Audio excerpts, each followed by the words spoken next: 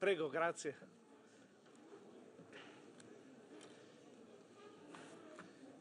Eh, grazie a tutti per la partecipazione. Volevo ovviamente ringraziare il Ministro per le imprese Made in Italy Adolfo Urso, il Ministro per l'agricoltura Lollobrigida. Grazie per essere qui ed è sicuramente un piacere essere con voi oggi per questa giornata che ritengo decisamente importante per il valore che ha soprattutto in Italia. E ed è sicuramente la giornata della ristorazione, un momento particolare perché per chi poi gira spesso all'estero, per chi vive in parte all'estero, come è il caso del sottoscritto, vi assicuro che una delle cose che mancano di più, anche se poi troviamo degli ottimi punti anche all'estero di ristoranti italiani, anzi molto importanti e che ci rendono anche molto orgogliosi, almeno per quello che mi riguarda, è proprio la cucina italiana, insomma, questo non sfuggirà a nessuno. Ma anche l'accoglienza che noi troviamo nei nostri ristoranti e anche il fatto che siano comunque diciamo, delle imprese familiari che spesso e volentieri vanno avanti di padre in figlio rappresentano questa una caratteristica che è, penso, peculiare e fondamentale del nostro Paese. Ma guardate, una differenza incredibile che si può notare anche nel modo di accogliere le persone. Sembra cosa da poco, ma le persone che lavorano spesso e volentieri nella ristorazione italiana hanno anche un modo di accogliere le persone, di farle sentire in famiglia che non è comune in tante altre parti del mondo. E questa è una nostra specificità molto importante. Contribuisce evidentemente questo a valorizzare il Made in Italy in maniera fondamentale e peculiare e contribuisce anche a rafforzare quelli che sono i valori e l'identità culturale. Io pensavo proprio oggi, venendo qui, al fatto che, tranne i veronesi in sala, probabilmente nessuno sa che cos'è la pearà. Eh. Però i veronesi in sala lo sanno molto bene ed è parte della cultura non veneta, veronese. E, ed è una cosa, ci pensavo proprio oggi, che a Verona tutte le domeniche a mezzogiorno si mangiano i tortellini in brodo e poi il lesso con la pearà, o il carrello dei bolliti, diciamo con la pearà, no?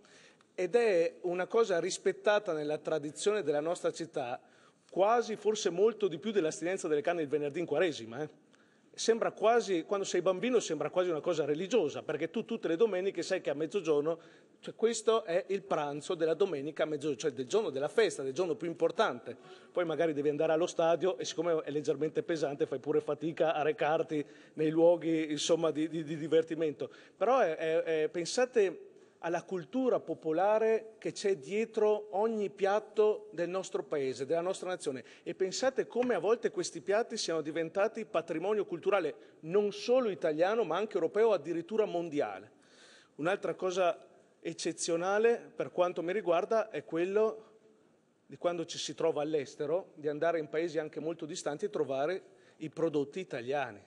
Io vi devo dire la verità, è una cosa che mi rende molto orgoglioso e quando li vedo in giro per l'estero sono chiaramente di aziende private, eccetera, ma sono anche parte mia. Cioè io mi sento orgoglioso perché sono quasi come se fossero prodotti miei, non, non dico fatti da me, ma sono veramente una persona quando si trova all'estero e vede i prodotti italiani e che, vede che sono apprezzati, si sente veramente parte di qualcosa di più grande, parte di una cultura, di un'identità che deve renderci orgogliosi. Noi spesso della bontà e dell'apprezzamento che ha la nostra cucina nel resto del mondo non ce ne rendiamo particolarmente conto, anzi noi spesso quando pensiamo all'Italia tendiamo a essere molto critici con noi stessi.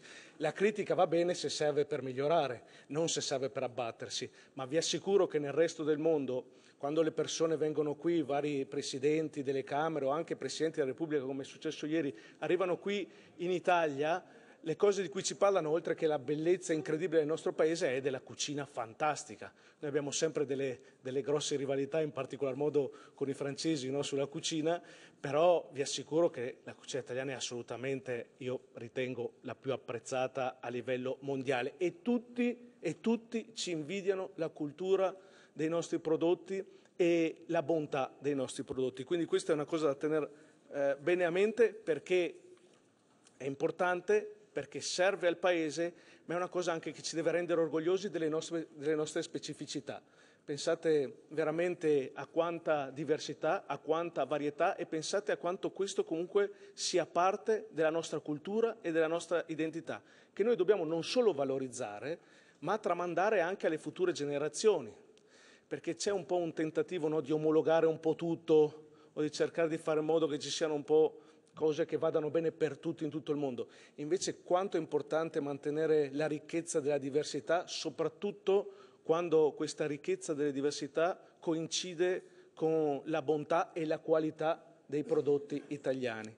Quindi sono voluto venire qui perché credo veramente sia importante valorizzare da parte delle istituzioni questo comparto e anche per ringraziare, per ringraziare tutte le persone che lavorano in questo settore, che si impegnano in questo settore da anni con grandi difficoltà, ma con successo internazionale incredibile. Grazie ancora.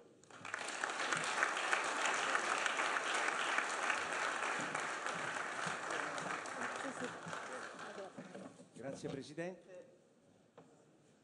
So, eccolo, grazie Presidente, grazie a tutti voi per aver partecipato numerosissimi a questo invito. Si tratta, Presidente, pensi che nei manuali quelli che parlano inglese, il management, li chiamano soft skill, ma in realtà questa roba è quella che voi avete scritto nel sottotitolo di questo incontro, cioè la cultura di saper fare, del saper fare italiano, che è una forza fenomenale oltre ai prodotti e tutto quello. Io però non voglio perdere tempo, è molto serrato l'incontro, il Ministro Urso può avere subito la parola.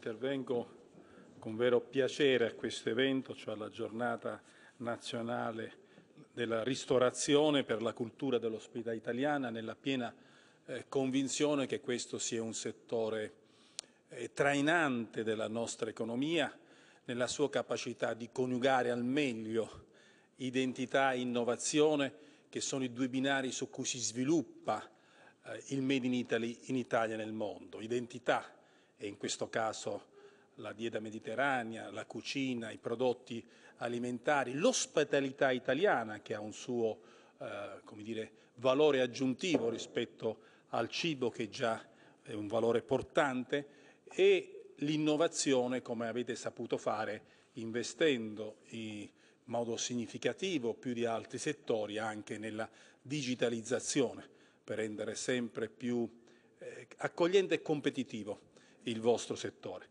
Quindi identità e innovazione sono stati i canovacci su cui abbiamo sviluppato anche la prima giornata nazionale del Made in Italy che si è svolta il 15 aprile in onore del genio di Leonardo che ha saputo coniugare meglio di chiunque altro questa peculiarità, questa specificità eh, del saper fare italiano che sin dall'inizio, nel corso dei millenni, ha saputo coniugare appieno appunto identità e innovazione. Leonardo questo era evidente, essendo lui un grande uomo di cultura, un artista, uno scrittore e nel contempo un grande scienziato, un innovatore, al punto tale da ideare macchine che soltanto qualche secolo dopo sarebbero state realizzate.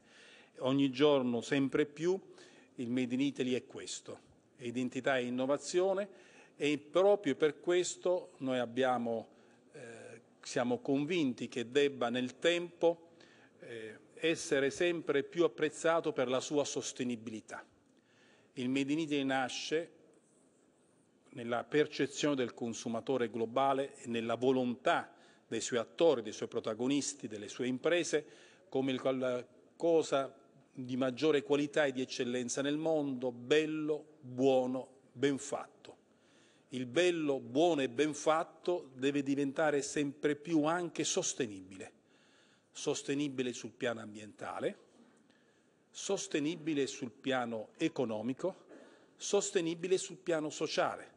Per questo noi vogliamo coniugare la transizione verso, verso un'economia più green con la sostenibilità economica e sociale delle imprese che poi forniscono i prodotti e nel contempo definiscono i redditi dei nostri lavoratori. Nel vostro settore noi ci siamo impegnati e ci siamo impegnati insieme. Se pensate ai risultati che abbiamo ottenuto insieme per quanto riguarda la lotta all'inflazione. Quando questo governo si è insediato, 18 mesi fa, l'inflazione in Italia era all'11.8%, il dato più alto tra i grandi paesi europei, ben superiore al tasso di incremento inflettivo della media dell'Unione Europea. Ieri, secondo i dati della stessa Commissione Europea, l'inflazione in Italia è stata certificata per quest'anno al dato più basso in Europa tra i grandi paesi, 1.6%, era l'11.8%, 1.6%, ben sotto l'inflazione di grandi paesi come la Francia, come la Germania e ben sotto l'inflazione certificata della media dei paesi dell'Unione Europea. E questo dato confermato oggi, tra l'altro, proprio sui dati sull'inflazione nei prodotti alimentari, che si è notevolmente ridotta ed è ben al di sotto di quella degli altri paesi europei. Siamo ormai appunto a percentuali infinitesimali. E il dato sull'inflazione avete contribuito anche voi, sia perché siete stati attori, la filiera è stata attore, la filiera dell'alimentazione, del della, del nostro carello tricolore, che in tre mesi è riuscita a dare il suo contributo appunto alla riduzione del tasso della crescita di inflazione, sia perché poi avete sottoscritto un altro accordo particolarmente, come dire, eh, che evidenzia la socialità del Made in Italy, il farsi carico degli altri. Un altro accordo col nostro Ministero che ha permesso di realizzare l'iniziativa Aggiungi un posto a tavola per i più piccoli, aggiungi un posto a tavola. Oltre 3.000 esercizi hanno sottoscritto e praticato questa intesa ed è anche questo un'evidenza chiara di come il Made in Italy è sempre più sostenibile, cioè affronta i problemi della socialità, del coinvolgere gli altri nei processi produttivi. Il tasso di inflazione è un elemento importante, ma non è l'unico, perché l'altro che caratterizza l'economia italiana in questo momento è la crescita. Perché pensate, nello stesso momento noi siamo il paese col più basso tasso di inflazione tra i grandi paesi europei e nel contempo siamo il paese col più alto tasso di crescita tra i grandi paesi europei. Perché ieri la Commissione europea ha rivisto a rialzo rispetto alle sue iniziali previsioni il tasso di crescita del PIL quest'anno allo 0.9%, che è superiore al tasso di crescita della Francia 0,7% e al tasso di crescita della Germania che verosimilmente si attesterà purtroppo solo sullo 0,1%. Cioè in questo momento l'Italia rispetto agli altri grandi europei, altri, rispetto agli altri paesi del G7 europei, quindi Francia e Germania, va meglio sia per quanto riguarda il tasso di inflazione perché è inferiore a quello degli altri paesi, sia per quanto riguarda il tasso di crescita del PIL perché è superiore a quello degli altri paesi. Questo ci deve incoraggiare sul fatto che dobbiamo proseguire insieme su questa strada, come un sistema paese. E quindi, in conclusione, anche perché mi rivolgo a una platea che ovviamente ha dato tanto in questi mesi e può dare ancora di più nei prossimi anni, noi pensiamo di inserire nel disegno di legge annuale sulla concorrenza, anche quest'anno faremo il disegno di legge annuale sulla concorrenza. Dico, sembra una cosa ovvia, esistendo già dal, da oltre 15 anni una legge che prescrive che si faccia ogni anno il disegno annuale sulla concorrenza, ma in questi 15 anni è stato fatto solo due volte prima di noi e noi in due anni lo facciamo ogni anno e lo faremo ogni anno in questa legislatura proprio per creare un clima sempre più favorevole all'impresa anche attraverso il fatto che bisogna sciogliere alcuni nodi che riguardano la concorrenza. In questo caso, nel disegno di legge sulla concorrenza, pensiamo di rendere eh, strutturale la normativa su DEOR, sui tavolini all'aperto, al fine di migliorare il decoro dei centri urbani. Bisogna coniugare le due esigenze, l'esigenza di favorire l'accoglienza e l'ospitalità, che ha contribuito alla crescita del settore in questi anni, in questi anni di difficoltà e di crisi, persino durante la pandemia, con l'esigenza di migliorare il decoro urbano. e per questo stiamo lavorando con i comuni, con l'ANCI, affinché ci sia una norma che tenga insieme le due cose. Migliorare il decoro urbano anche attraverso i deor e i tavolini all'aperto e questo ci può confortare sulla strada di realizzare sempre più una maggiore ospitalità per i nostri cittadini e per i tanti turisti che stanno affluendo nel nostro Paese e che debbono essere accolti al meglio, come essi meritano e come onore anche del Made in Italy italiano. Buon lavoro. Grazie Ministro. Chiamerei sul palco ora, sul palco ora il Ministro Lollobrigida.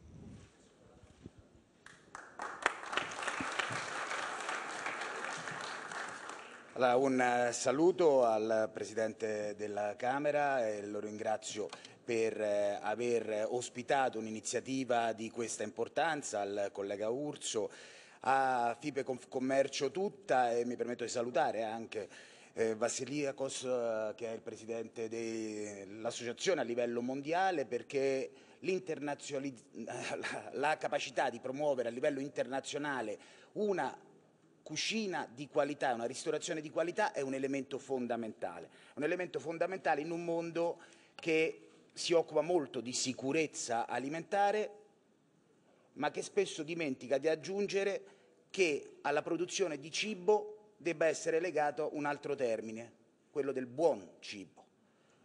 E il cibo non è solo nutrimento, è un altro elemento di forza della nostra cultura, ma è anche un elemento di convivialità, un momento per stare insieme. Per un italiano tutte queste cose sono ovvie, anche per altri sono ovvie a livello mondiale, ma la gran parte del pianeta invece non ha la fortuna di conoscere quello che noi abbiamo appreso fin dalla tenera età. In Italia abbiamo un vantaggio, noi abbiamo avuto due grandi docenti in età prescolare che abbiamo incrociato quasi tutti sulla nostra strada, la mamma e la nonna, che da bambini ci dicevano con parole semplici ciò che era buono e ciò che era cattivo. Due termini che hanno innestato in noi il senso critico e la capacità di discernimento rispetto al cibo, di che cosa faceva bene e di che cosa faceva male, al corpo, ma non solo, anche alla testa. La convivialità, un aspetto fondamentale della cucina. La convivialità che trova in noi, sì, all'interno della famiglia, un luogo naturale, purtroppo sempre meno, in cui ci si ritrova. Oggi il Times celebrava la capacità della convivialità italiana come mito anche negli Stati Uniti dove questo elemento non sempre e non a tutte le latitudini viene considerato un punto di riferimento. Fa l'esempio della cucina italiana e racconta eh, la storia di emigranti italiani che avevano importato un modo di stare insieme, di riunirsi, di dialogare, di parlare, di creare quel benessere che intorno alla tavola i nostri ristoratori sanno creare. Quel riferimento alla casa fuori dalla casa, che sembra un paradosso, ma che in realtà è incarnato dalla nostra ristorazione. La capacità di far sentire in un luogo pubblico le persone a loro agio, di riuscire a creare una sensazione di piacere che va ben oltre i prodotti che si presentano e che si raccontano. Noi abbiamo investito su questo modello proprio perché la nostra rete di ristorazione in Italia e nel mondo corrisponde nella percezione degli altri in un elemento di qualità. Una filiera straordinaria che vede i ristoratori, il loro personale, io riconosco qui ovviamente tanti amici cuochi, li chiamerò così, per eh, capacità si sono affermati in tutto il mondo, italiani e non italiani che hanno saputo però valorizzare i nostri prodotti nei piatti italiani e anche nei piatti non italiani, che sono una rete di distribuzione straordinaria, una rete di promozione straordinaria, sia in Italia che all'estero, che noi dobbiamo saper sfruttare. L'Italia è una nazione della quale non possiamo che essere orgogliosi, però l'orgoglio non porta economia, la consapevolezza può portare una crescita economica e della ricchezza, la consapevolezza della fortuna che abbiamo avuto a nascere in un piccolo lembo di terra, lo 0,2% circa delle terre emerse del pianeta, lo 0,7% circa della popolazione mondiale, ma che al suo interno ha avuto la capacità di coniugare come fosse un crogiolo praticamente tutta la cultura del pianeta. Nel DNA, nei nostri 3.000 anni di storia, ci sono le culture del mondo allora conosciuto in Occidente, attraverso l'impero romano. Abbiamo avuto le invasioni barbariche che ci hanno portato le culture del nord, abbiamo avuto gli arabi, eh, abbiamo avuto contatto in epoca, in delle diverse epoche con ogni lembo del pianeta e qualcosa ci è stato lasciato e lo ritroviamo. Paradossalmente la parcellizzazione della nostra Italia in tanti comuni, come ricordava il Presidente Fontana, ha messo nella condizione a pochi chilometri di distanza di distinguerci in positivo per prodotti, per modelli di presentazione, per modelli di ristorazione, per capacità di avere cibi e vini che richiamano al territorio. E allora questo potenziale lo dobbiamo sfruttare al massimo. Con il collega San Giuliano è stata una delle prime cose che abbiamo fatto, quella di chiedere il riconoscimento della cucina italiana, non solo cibo, ma legame con il territorio, con i monumenti, con la nostra storia, con la nostra ricerca, con la nostra presentazione, con la convivialità come patrimonio dell'UNESCO. Non cambierà la vita questo riconoscimento che io immagino nel 2025 ci metterà nella condizione di avere lo stesso titolo della cucina giapponese, coreana, francese e messicana che già sono riconosciuti in quest'ottica. Ma il racconto in questi due anni che ci permette in tutto il mondo di raccontare ancora di più questa cucina ci permette di affermarla ancora di più per quello che è un complesso che ci permette di trascinare dietro una filiera di produzione e una qualità che è indiscutibile. È ovvio che ci sono però tante cose da fare, alcune venivano citate. Io credo che oggi sia corretto immaginare una normativa di Deor, ma è altrettanto corretto garantire alla ristorazione italiana, che più di altri ha sofferto durante la pandemia, la possibilità di recuperare quello che ha perso in quella fase. In quella fase. Dopodiché io penso, ovviamente, io penso che i ristoratori veri, uso questo termine, siano quelli che ci tengono di più all'ambiente che li circondano, alla qualità della vita nelle città e quindi sono quelli più attenti al decoro pubblico ma noi dobbiamo pensare oggi a salvaguardare quel gap che hanno avuto di danni in due anni e mezzo, tre, in cui il turismo è stato fermo e questa la riteniamo una priorità. C'è necessità di sostenere questo settore con la formazione del personale, con la valorizzazione delle scuole. Noi abbiamo bisogno di persone qualificate, italiane e quelli del resto del mondo che vogliono venire ad apprendere in Italia e a lavorare in Italia, attraverso gli istituti alberghieri, per esempio, gli istituti agrari in altro settore. Spesso le due cose però sono a confine. È fondamentale una formazione di qualità e che gli istituti alberghieri non siano più considerati scuole di secondo ordine, immaginando che l'unico ascensore sociale resti, vengo dal liceo classico, l'educazione classica. Sono scelte diverse, di uguale qualità e con potenzialità, peraltro, di reddito spesso inverse e di capacità di occupazione spesso inverse. Quindi credo sia fondamentale raccontare anche questo tipo di esperienze e le capacità che ci sono, raccontare la solidarietà che i ristoratori fanno, un elemento centrale della ristorazione italiana, la generosità del mondo legato alla ristorazione italiana credo sia un esempio eccezionale, so che verrà discussa e raccontata in queste ore. Noi stiamo facendo il possibile anche per riportare alcune cose al loro posto dal nostro punto di vista. Abbiamo votato poco tempo fa una legge, una legge che è stata diciamo, animata dal, da uno dei pasticceri più importanti d'Italia, Igino Massari, definita legge Massari. È una legge che immagina di avere come in Francia, come negli Stati Uniti, dei riferimenti in alcune professioni. Il maestro di ristorazione, il maestro di pasticceria, il maestro nella produzione di vino, il maestro nella produzione di olio, il maestro nella produzione di formaggi, devono diventare dei simboli, dei miti, come Paul Bocuse in Francia, che può, può essere un riferimento eh, di un modello per, reg per regalare anche ai giovani la possibilità di guardare a questo. L'inserimento in Costituzione è un'altra richiesta che faremo e che proponiamo nell'articolo 32 della difesa dell'identità e dei nostri prodotti. Non c'è niente di male, è un elemento unificante che nella nostra legge fondamentale merita, a nostro avviso, di essere ospitato. Non la faccio lunga, voglio ringraziare però in questi giorni FIPE Confcommercio perché abbiamo sottoscritto un protocollo, in realtà io l'ho sollecitato, non ho fatto altro che assistere a quello che è un protocollo d'intesa tra la ristorazione e Afidop, l'associazione dei rappresentanti del mondo della produzione dei formaggi di qualità. Qualcuno l'ha titolato l'obbligo di mettere nei menù della ristorazione i formaggi. Non è nostra intenzione obbligare nessuno a fare niente, ma utilizzare la rete dei ristoratori per aumentare il valore dei nostri prodotti eccezionali, questo sì lo sollecitiamo e troviamo dall'altra parte il sistema Italia che risponde positivamente.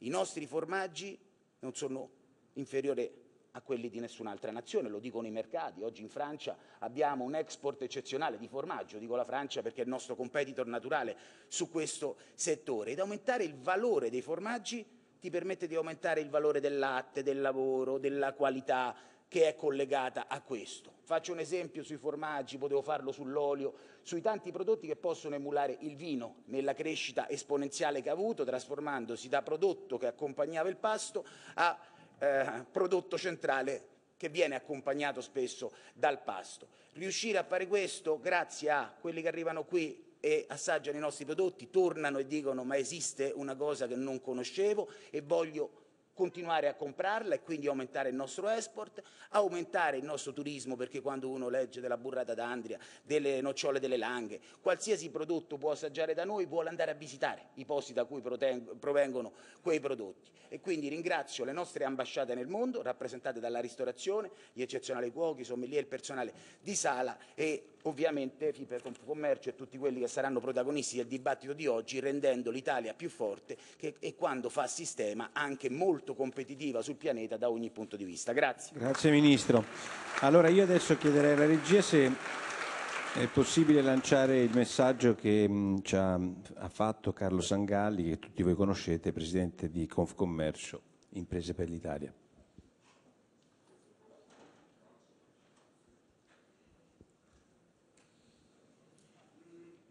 Non, uh, just a moment, we're waiting for the, Carlo Sangalli. C'è qualcuno che mi può dare qualche informazione? Avviene anche normalmente in televisione quello che sta succedendo ora, quindi è una cosa normale. Io posso passare otto minuti a raccontare altre cose? Al, ok, perfetto. Presidente, it's your turn, please. You can have a speech on the the podium. Og ognuno di voi ha il, lo speech del Presidente eh, nella propria cartellina. Alexandros Vassilikos. Grazie. Dear President, Ministers, representatives of the Italian gastronomy, dear President, ladies and gentlemen.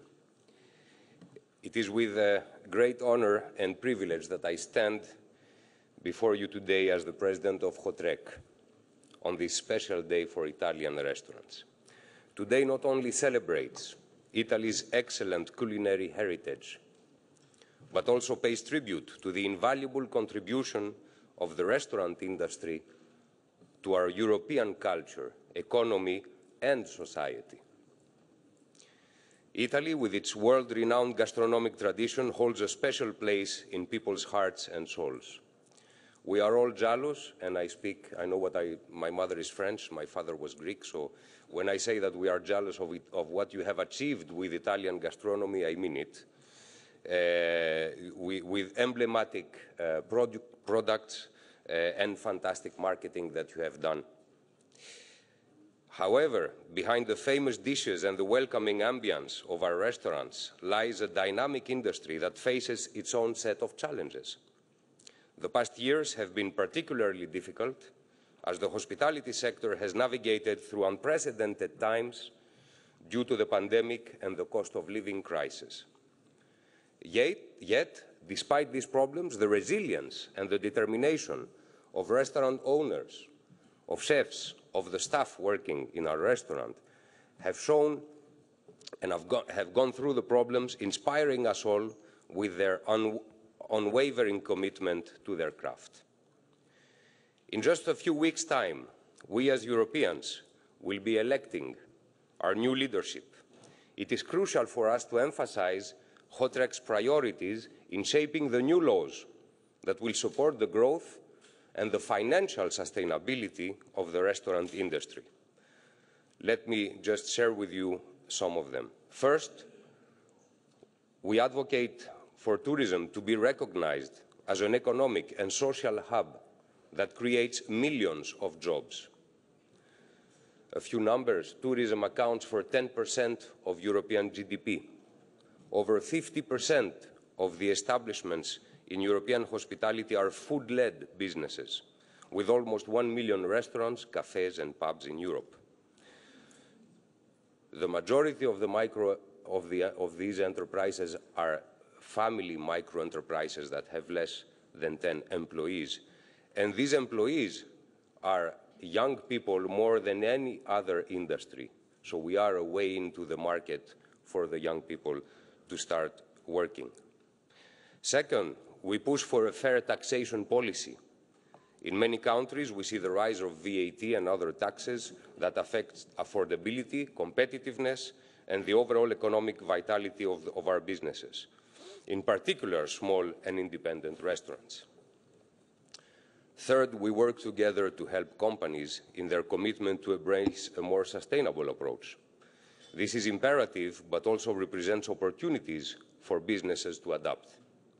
We must engage with European and national policymakers in shaping a regulatory landscape that tackles the climate emergency while safeguarding the viability of our businesses, prioritizing adaptation efforts and ensuring that no one is left behind. Waste management is a very good example where we can successfully work together with FIPE, and we have done already in the packaging, uh, uh, with the packaging practices and what we had to deal with, and we still have to deal with with uh, the European Commission, Inno innovative solution and raising awareness to reduce waste. Last but not least, innovation and digitalization will be part of this successful transition. The most important thing is that market competition remains fair and balanced. This is not without challenges. The current situation is very ironic. Restaurants, hotels do all the investments, carry all the operating costs, but at the end, the large online booking platforms control the sales. In principle, these platforms must comply with EU rules on the digital, digital market. Yet in practice, due to market dominance, the visibility of direct bookings options overshadows restaurants. The detrimental effect of fake online reviews, something FIPE has done a lot of work on as well, on the reputation and revenues of restaurants is another example showing the need to join forces to reach digital fairness by uniting our voices in HOTREC. I will now try to speak Italian. Allora, per concludere, vorrei provare a rivolgermi ai regolatori in italiano, legislatori europei e legislatori nazionali. Non parlo italiano, ma ci proverò. Si prega di non considerare i ristoranti come luoghi in cui vengono serviti cibo e bevande, Guardateci per quello che siamo veramente, i custodi della tradizione, delle ricette locali, dei prodotti locali e dello stile di vita europeo.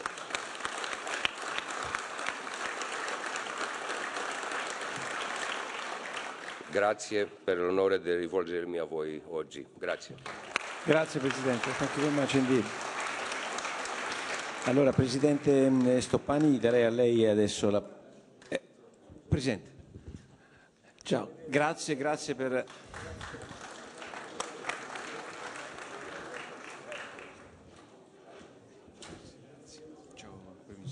Pre... Presidente, però vada sul palco, dai, poi dopo facciamo una tavola rotonda un po' più informale. Buongiorno e grazie anche da parte mia il Presidente della Camera Fontana e i ministri Urso e Loro Lizia sono usciti, ma insomma è evidente e dovuto il ringraziamento che dovevo, come devo evidentemente a tutti voi e ai parlamentari della Repubblica Italiana che oggi sono qui presenti, insieme agli amici, agli ospiti e agli operatori del nostro settore. Allora, nel ringraziare innanzitutto l'istituzione che ci ospita e i tanti esponenti della politica che in questi anni hanno avuto la sensibilità e la responsabilità di raccogliere le istanze, le aspettative e i bisogni del mondo della ristorazione, non posso esimermi dall'esprimere innanzitutto la soddisfazione dell'intero settore per l'avvio dell'iter legislativo che porterà, speriamo presto, insomma, alla ufficiale istituzione della giornata della ristorazione all'interno del calendario italiano, grazie al sostegno di tanti ministeri importanti e all'azione di alcuni parlamentari, a partire dall'onorevole Luca Sgueri, a cui va il nostro riconoscente ringraziamento. Dalle piazze nelle quali nei lunghi periodi di chiusura e limitazione delle nostre attività per l'emergenza sanitaria esprimevamo con il garbo e la dignità di imprenditori per bene che ci ha sempre contraddistinto, esprimevamo, dicevo, il nostro disagio e la nostra difficoltà nei confronti di provvedimenti che mettevano a repentaglio la continuità di aziende nei fatti classificate non essenziali, oggi siamo arrivati alle aule del Parlamento dove viene ufficializzato un atto di forte valore simbolico e pieno di significato di cui siamo onorati e orgogliosi. È stata una strada in salita che abbiamo percorso insieme, insieme alle nostre imprese, insieme alle istituzioni, insieme alla nostra Confcommercio, insieme ad associazioni e ad aziende leader della filiera che hanno condiviso l'istanza di promuovere un momento celebrativo della ristorazione italiana come giusto riconoscimento verso un settore strategico per l'agroalimentare italiano, fattore di attrattività turistica, espressione dell'identità e dello stile di vita italiano forte elemento di aggregazione, di integrazione, di inclusione sociale e di civiltà in cui sono condensate storie e tradizioni del nostro Paese.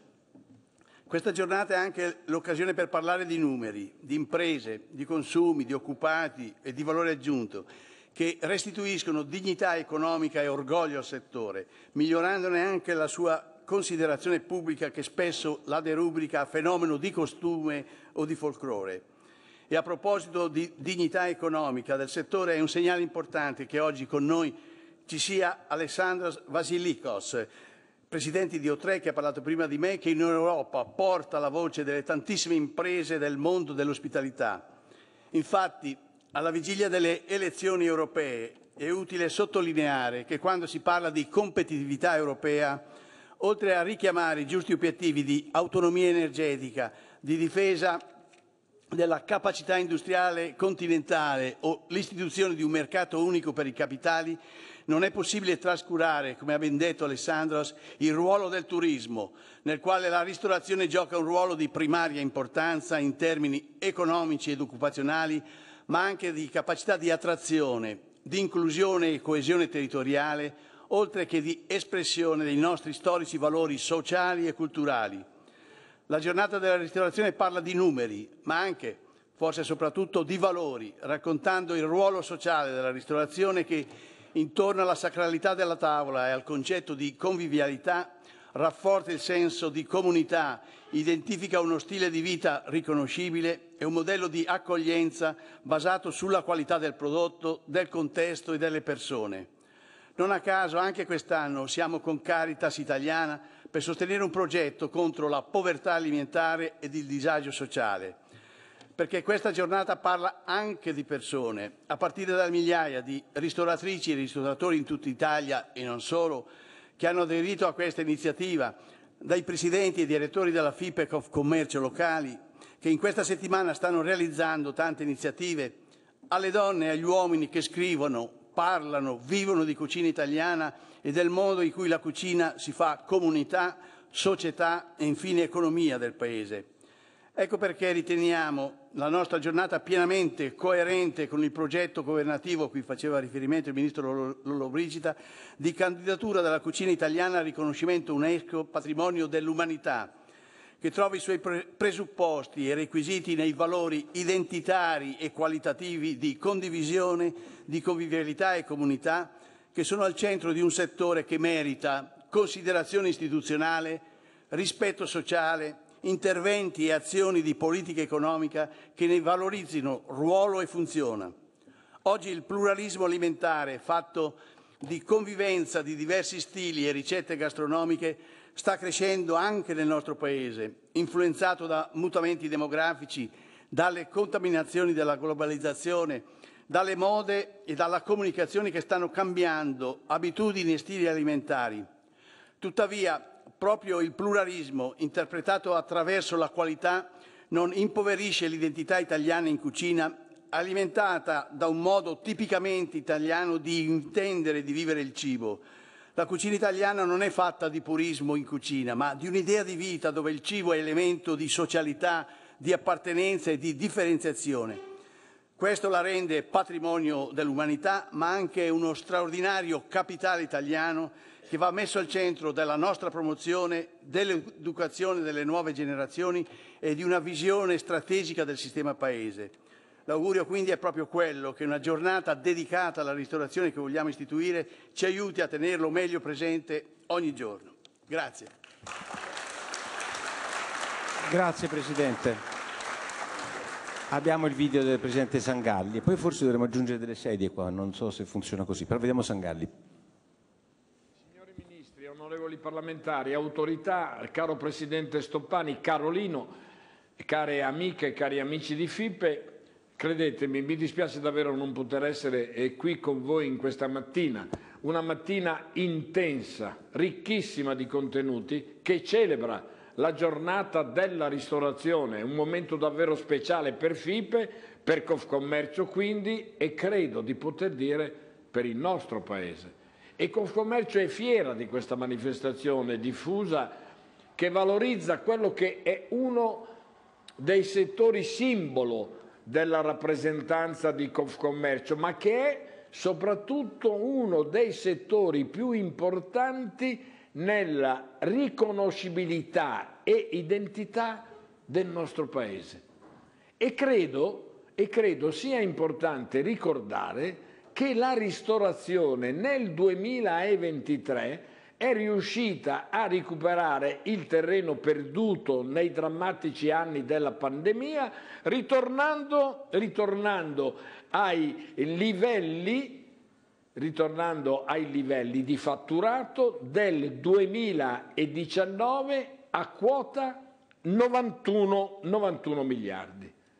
Un settore, quello della ristorazione, che dà lavoro a 1 milione e 400 mila persone con grandi potenzialità di crescita e mi permetto a questo proposito di ricordare che in Italia negli ultimi 30 anni l'occupazione è salita grazie solo al terziario di mercato che noi abbiamo l'onore di rappresentare.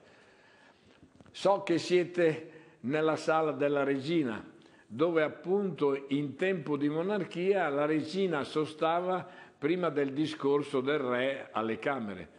E mi sembra bene augurante, ecco la dico così, mi sembra bene augurante ricordare che la mitica pizza margherita si chiama così perché, come certamente sapete, è dedicata alla regina Margherita, pizza prediletta dalla regina perché si racconta la pizza, pomodoro, mozzarella, basilico, ricordava i colori della bandiera italiana. E così mi pare di poter leggere e anche la nostra giornata della ristorazione, capace di raccontare, diffondere, promuovere con una ricetta vincente l'ospitalità, lo stile di vita conviviale e l'identità del nostro paese e del nostro modello economico. Grazie a tutti e buon lavoro. Grazie. Grazie Presidente. Allora forse dovremmo allargare. Thank you very much President. For... All'onorevole Giorgia Andreuzza.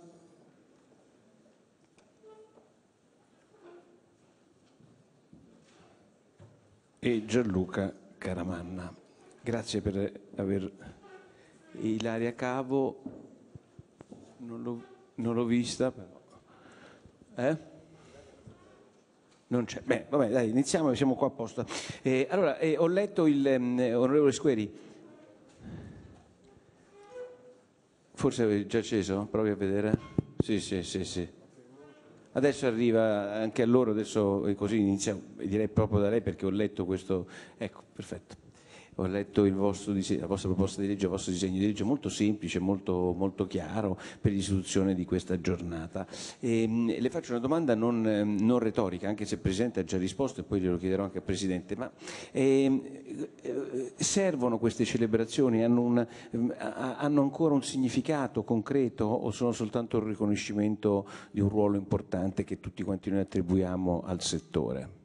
Ma direi di sì, eh, direi proprio di sì e ne abbiamo una prova provata perché diciamo che questa legge ha avuto un prototipo che è stata la giornata della ristorazione che avete fatto, che la FIPE ha organizzato l'anno scorso, il 28 aprile, coinvolgendo migliaia e migliaia di esercizi pubblici eh, attorno a, a, un evento che eh, celebrava l'anno scorso il pane, il prodotto pane, il prodotto proprio diciamo primo prodotto commestibile nella gerarchia poi di, di, tutto il panorama che abbiamo e ha avuto un successo incredibile. Ha, eh, non per nulla ha avuto come comprimari i vari ministeri che oggi sono a supporto di questa iniziativa, ministri del, del MIMIT, dell'agricoltura, c'è il, il, Ministero degli Esteri coinvolto, il Ministero del Turismo e addirittura il Presidente della Repubblica questa giornata del 28 aprile ha ricevuto la medaglia del Presidente della Repubblica per, per l'alto valore di questa iniziativa. Per cui io devo dire che questo rappresenta l'importanza, abbiamo sentito tante parole su questa, su questa attività così diffusa, così... Eh, io penso che se andiamo a vedere, a vedere la, definizione, la definizione di ristorazione nell'Oxford Language e parla di una benefica compensazione dell'affaticamento e dell'indebolimento fisico o consolazione, sollievo della prostrazione eh, o avvilimento spirituale. Negli interventi precedenti abbiamo sentito sottolineare giustamente l'aspetto diciamo, eh, identitario legato alla tradizione, legato al patrimonio che l'Italia ha nella sua diversità, 8.000 comuni, 8.000 città dove eh, ogni domenica di Pasqua il Presidente della Camera ha parlato del suo piatto veronese, mi sa che ci sono 8.000 piatti in giro per il paese la domenica di Pasqua. Eh, per cui un, eh, io invece intendo eh, anche sottolineare l'aspetto proprio sociale, per cui eh, diciamo valorizzare questo presidio di cultura materiale. Non ho capito.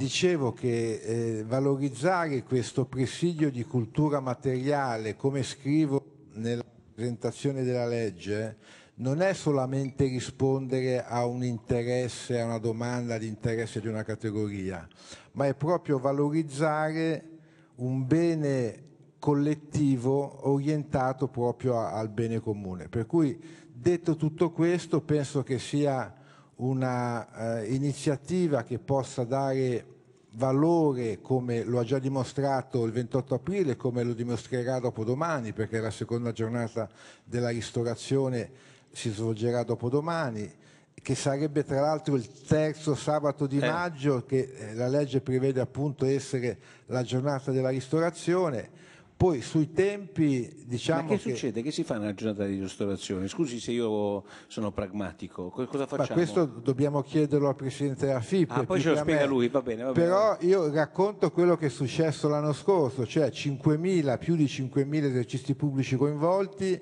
con eh, sedi della FIPE eh, attivate proprio per partecipare da stream anche rispetto a quello che fu fatto al, nella sede del Ministero del Mimit e, e penso che visto il successo che c'è stato sarà sempre di più un'iniziativa che poi coinvolgerà anche gli enti locali, nella legge si parla appunto della possibilità di eh, coinvolgere comuni, eh, province regioni nel promuovere questo tipo di, di messaggio e diciamo a, a livello simbolico ma anche concreto c'è la previsione di un'assegnazione di 10 medaglie agli imprenditori che più saranno stati meritevoli nel distinguersi in vari ambiti, l'abbiamo sentito citare, l'inclusione, la sostenibilità, eh, la sicurezza, la legalità, l'immagine. Insomma, una giornata che rende onore a questo settore. Fatemi dire, come l'anno scorso il Presidente della Repubblica aveva dato una medaglia, adesso il Parlamento vuol darvi un altro tipo di medaglia con questa legge. Grazie onorevole Squeri, direi all'onorevole Andreuzza il, vostro punto, il suo punto di vista che è un'altra firmataria, tra le prime firmatarie di questa proposta. Ma allora eh, io ringrazio ovviamente la FIPE che ci ha coinvolto e siamo stati molto motivati. Io credo che questa giornata sarà una grandissima festa. Immagino che tutti gli operatori che hanno questa peculiarità di avere tanta passione e tanta creatività si impegneranno davvero molto e immagino anche numeri crescenti di coinvolgimento proprio per rappresentare attraverso la ristorazione proprio quello che è la nostra italianità, il nostro essere persone conviviali, ospitali, appassionate in tutti i settori perché si tratta dell'ultimo anello di una catena che parte dal prodotto e i nostri produttori sono appassionati per arrivare alla lavorazione, alla ricerca della ricetta, alla storia, al legame col territorio. E tutto questo se ognuno di noi immagina i nostri momenti a tavola, dove eh, invitiamo un amico, dove li utilizziamo per una cerimonia, cioè sono davvero il momento più piacevole, l'espressione di gioia e anche l'orgoglio con cui raccontiamo un, il nostro territorio, la nostra storia, il nostro paese.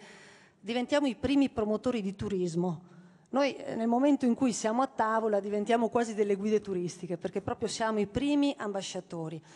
Per cui credo che attraverso questa proposta di legge proprio ci sia una valorizzazione di tutti questi anelli che sono le norme filiera che oltre appunto a fare eh, PIL, come abbiamo detto prima, sono anche momento di opportunità di, di lavoro e soprattutto anche ognuno di questi anelli della catena, in particolare la ristorazione, richiede sacrificio, tantissimo. Io voglio ricordare che si lavora il sabato, la domenica, non ci sono orari, cioè imprese familiari che sacrificano una vita per essere sempre al servizio con il sorriso con i nostri ospiti e i clienti, insomma, sappiamo sono sempre più esigenti, eh?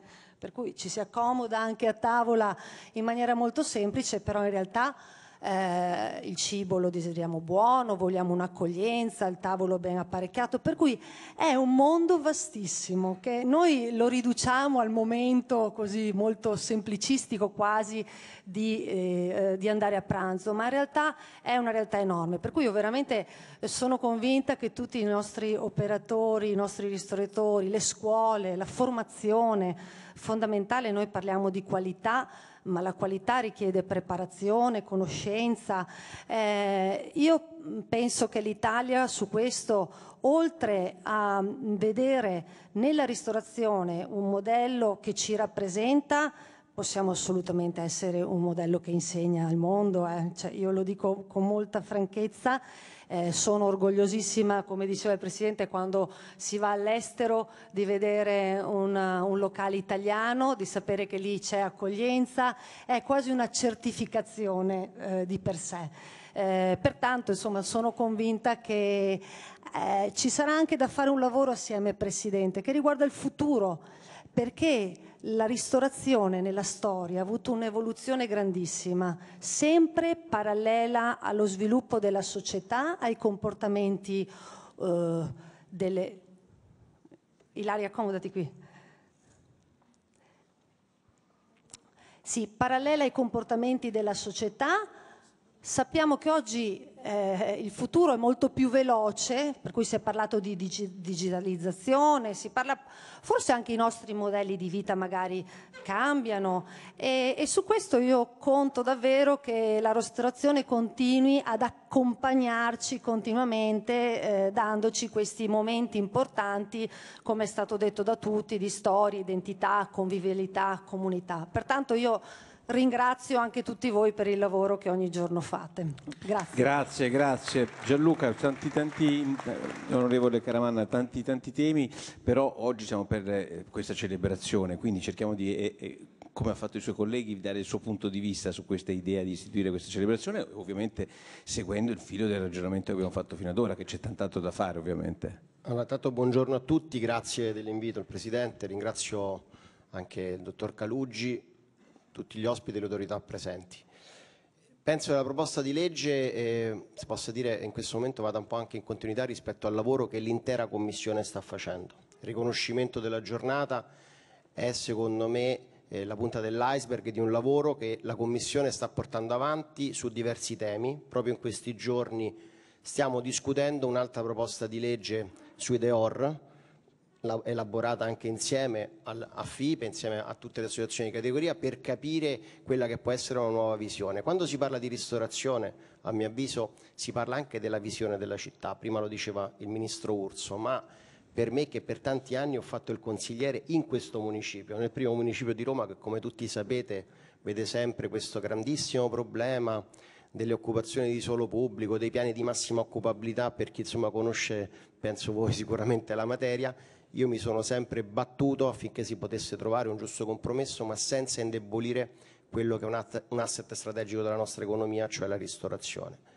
Quindi credo che in questo momento l'attenzione debba essere posta su quella che sarà una visione nel futuro del nuovo tipo di ristorazione, un nuovo modello, si parlava di innovazione, ma soprattutto non bisogna penalizzare anche nei centri storici le occupazioni di suolo pubblico, ove possibile. La nostra proposta di legge delega al governo, il MIC in particolare, prevede insomma di sicuramente avere una visione innovativa ma di non penalizzare in nessun modo le occupazioni. Credo che le occupazioni di suolo pubblico anche nei centri storici, dottor Porro, siano ormai l'ultimo baluardo di sicurezza. Una luce accesa la sera, un'occupazione in una via magari interna, una via buia. Io credo che quando si possa uscire di casa anche vedendo un'occupazione di suolo pubblico sicuramente ci si sente più tranquilli, sicuramente anche per i turisti è, eh, una, è importante mangiare all'aperto in una città come Roma soprattutto ma in tutta Italia dove si può mangiare nove mesi su 12 eh, all'aria aperta ma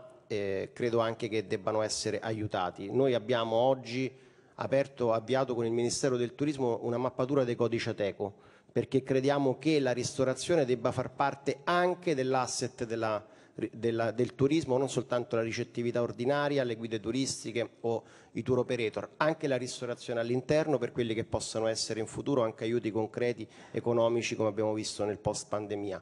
Quindi qui c'è una squadra compatta al servizio di quella che è diciamo, eh, motore trainante della nostra economia e credo che i 50 miliardi insomma, di indotto del fatturato dell'anno precedente, più di un milione di posti di lavoro, siano il termometro di un settore in salute ma che sicuramente può migliorare e noi sicuramente con questa proposta di legge lo faremo. Grazie. Grazie a lei. Ilaria Cavo, a lei eh, eh, insomma, la conclusione di questa prima parte e poi col Presidente voglio fare un paio di domande ovviamente. Grazie, grazie, buongiorno a tutti. Mi scuso ovviamente per questo piccolo ritardo, ma era contestuale la, una seduta della Commissione Orlandi a cui dovevo partecipare. Ehm, io credo che stiamo dando eh, sicuramente come Commissione, eh, per quello che riguarda ovviamente i gruppi che rappresentiamo, io rappresento in, eh, oltre che la vicepresidenza della eh, Commissione Attività Produttive Made in Italy, anche il gruppo di noi moderati e credo che stiamo dando tutti insieme un grande segnale di eh, compattezza. Quando è stata proposta questa PDL non c'è stata esitazione a firmarla, anche io l'ho firmata in maniera convinta nella convinzione che eh, istituire una giornata non sia un qualche cosa, eh, diceva bene Gianluca, è la punta di un iceberg ed è un grande segnale perché vuol dire riconoscimento, riconoscimento al grande lavoro che è certo fatturato, ma è grande impegno di questo settore, che è stato uno dei più colpiti dalla pandemia e che ha saputo reagire in maniera encomiabile a un periodo assolutamente difficile, e dire che quel sabato è dedicato ed è concentrato eh, su questo settore eh, credo che sia un, segnale fortissimo che si dà e quindi non è assolutamente da sottovalutare. Significa eh, incentivare la rete, significa una comunicazione importante perché nella legge c'è anche un passaggio eh, ovviamente per quanto riguarda il servizio pubblico di eh, promozione e di eh, attenzione a questa giornata.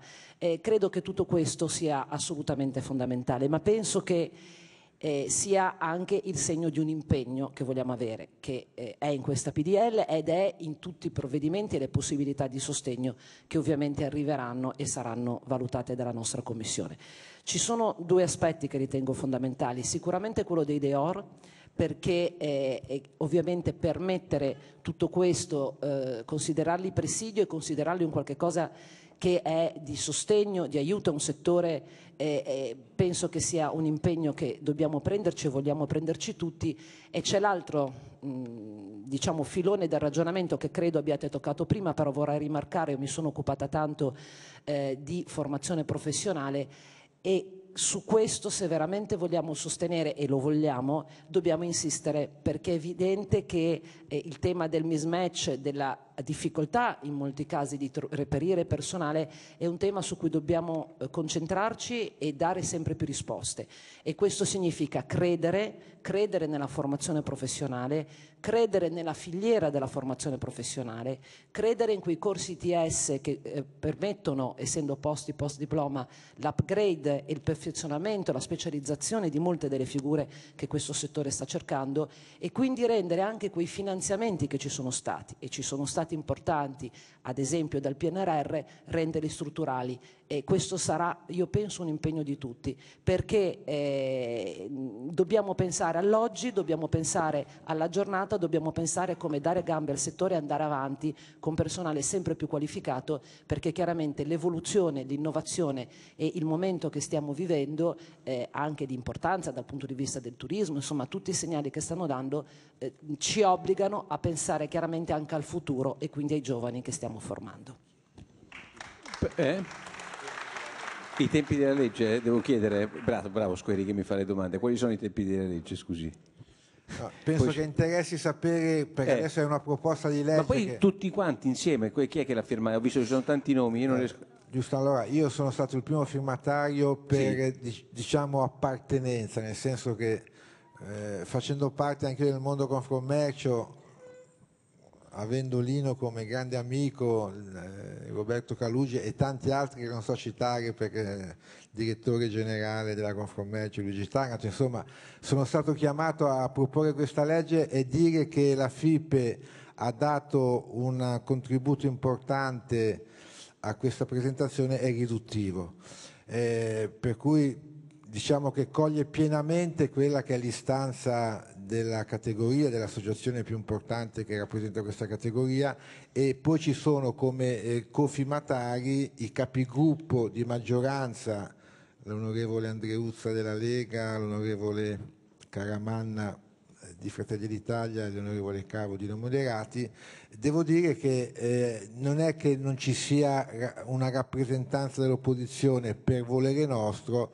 è stata proposta anche a loro la firma, però diciamo che siamo in campagna elettorale per cui evidentemente non si è voluto diciamo, dare un senso di, non so, eh, no, quello, quello, penso proprio che il voto sarà diciamo, e i tempi, probabile. I tempi sono stati, allora la, la legge è stata eh, presentata, è stata data in sede referente alla decima commissione, ieri nell'ufficio di presidenza si è deciso che già la settimana prossima in commissione comincia l'esame, sarà proposto nei lavori d'aula trimestrali proprio a fine mese ci sarà l'incontro dei capigruppo per decidere il calendario di aula, proporremo che sia prevista l'esame di questa, di questa proposta di legge per cui se come immagino già in questo trimestre la Camera eh, potrà approvare questa legge, poi ci sarà un passaggio al Senato doveroso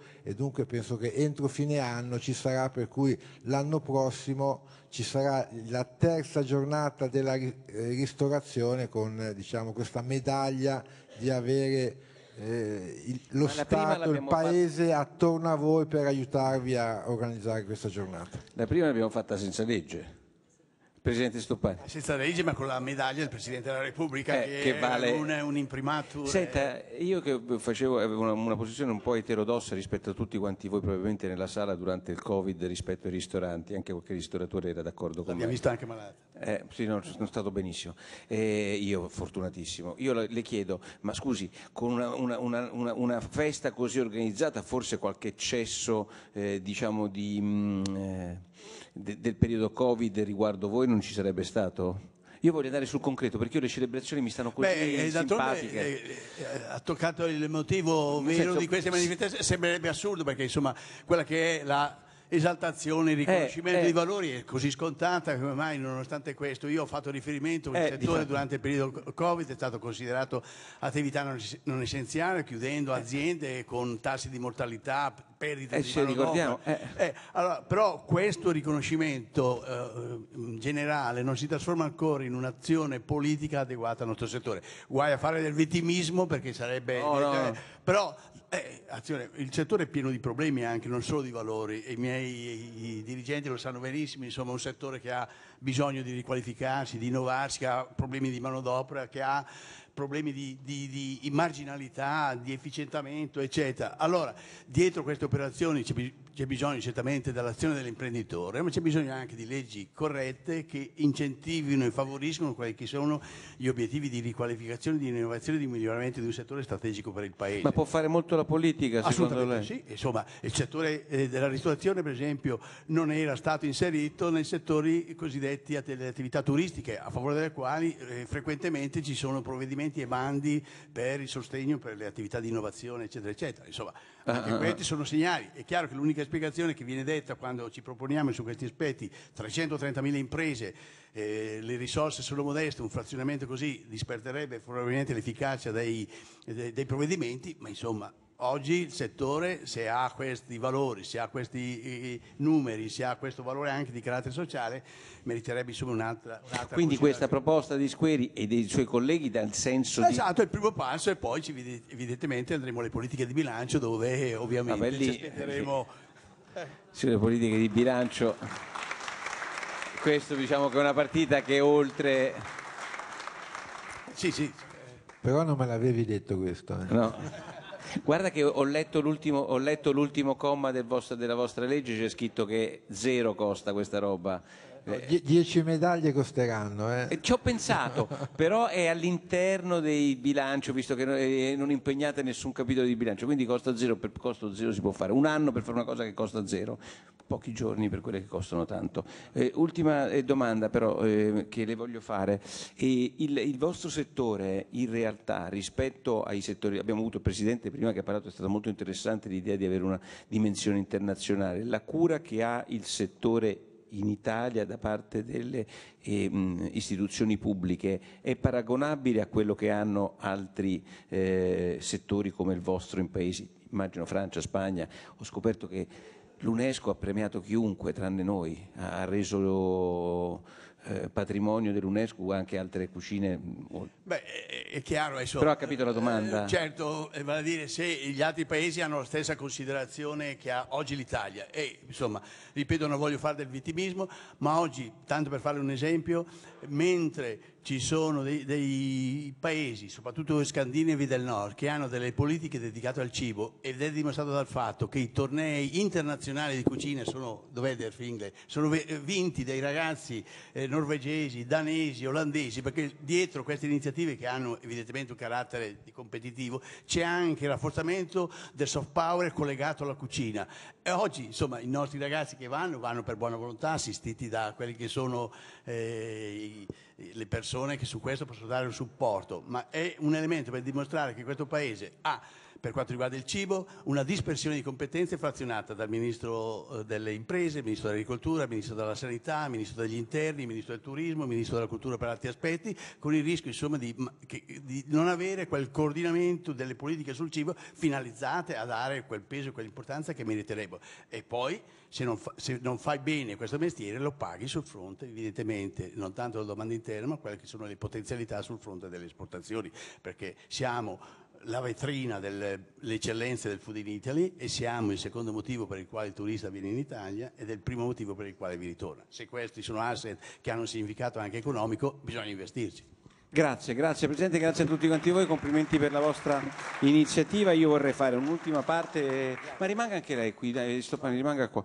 Eh, cambiamo un po' il protocollo, eh. rimanga col conduttore che mi dà una mano. Eh, io inviterei sul palco il vice direttore della Caritas italiana Paolo Valente. Grazie. Ciao Ilaria. Bene, grazie al mm, eh, dottor eh, Valente e in, in, inviterei eh, sul eh, palco oppure eh, so se, il responsabile della direzione regionale del Lazio e Abruzzo di Intesa San Paolo Roberto Gabrielli. Eccolo Roberto, eccoci qua.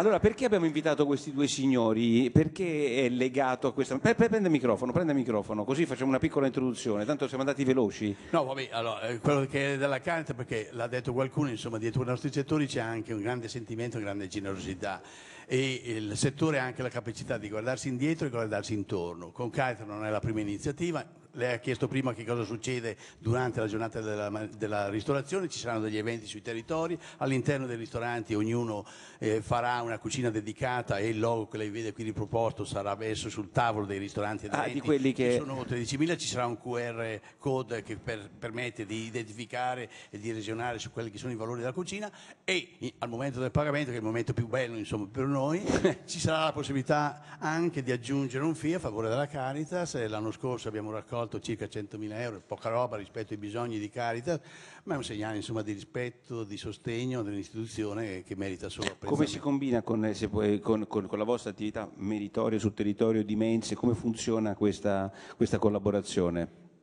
Funziona benissimo, mm, cioè, il cibo per la Caritas è uno dei temi mm, diciamo, che l'accompagnano fin dall'inizio, ancora prima della sua fondazione, se ricordiamo nell'immediato dopoguerra, i refettori del Papa sono una delle prime iniziative messe in piedi da quella che allora si chiamava POA e che poi è evoluta nella Caritas negli anni 70. Quindi dare da mangiare agli affamati, diciamo che fa parte della mission della Caritas, però non si tratta solo di dare da mangiare o da bere, come è stato detto prima, ma anche di farlo bene, mm. la qualità del cibo perché eh, la qualità del cibo mh, fa il paio con la dignità della persona. Eh, noi accogliamo, ospitiamo, visto che parliamo di ospitalità, eh, persone che, eh, alle quali vogliamo riconoscere una dignità, eh, la dignità che meritano.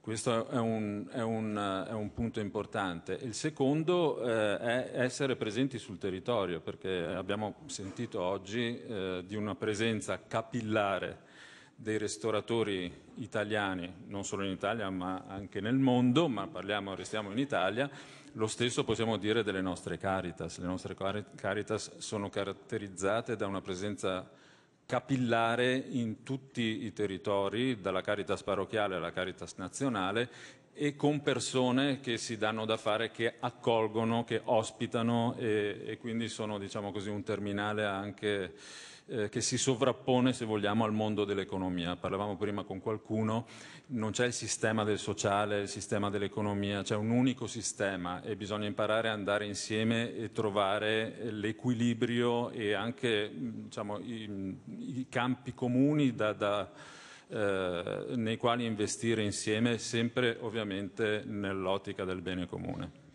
Benissimo, eh, Intesa San Paolo è il secondo anno che farete insieme alla FIPE questa eh, collaborazione, in chi consiste?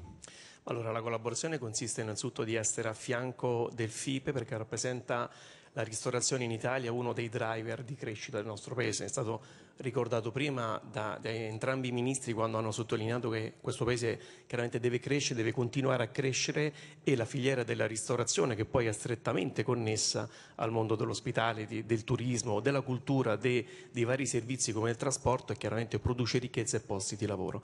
Siamo al loro fianco, se vogliamo, in una duplice veste. In primo luogo vicino evidentemente agli associati e quindi dando supporto finanziario, consulenziale alla loro crescita. Spesso parliamo di piccole e piccolissime imprese, molte anche sono nuove imprese, quindi la eh, possibilità di concedere loro attraverso una serie di strumenti che mettiamo a disposizione di poter quindi crescere, svilupparsi e soprattutto fare in modo che il Made in Italy, il nostro Made in Italy sia apprezzato in tutto il mondo.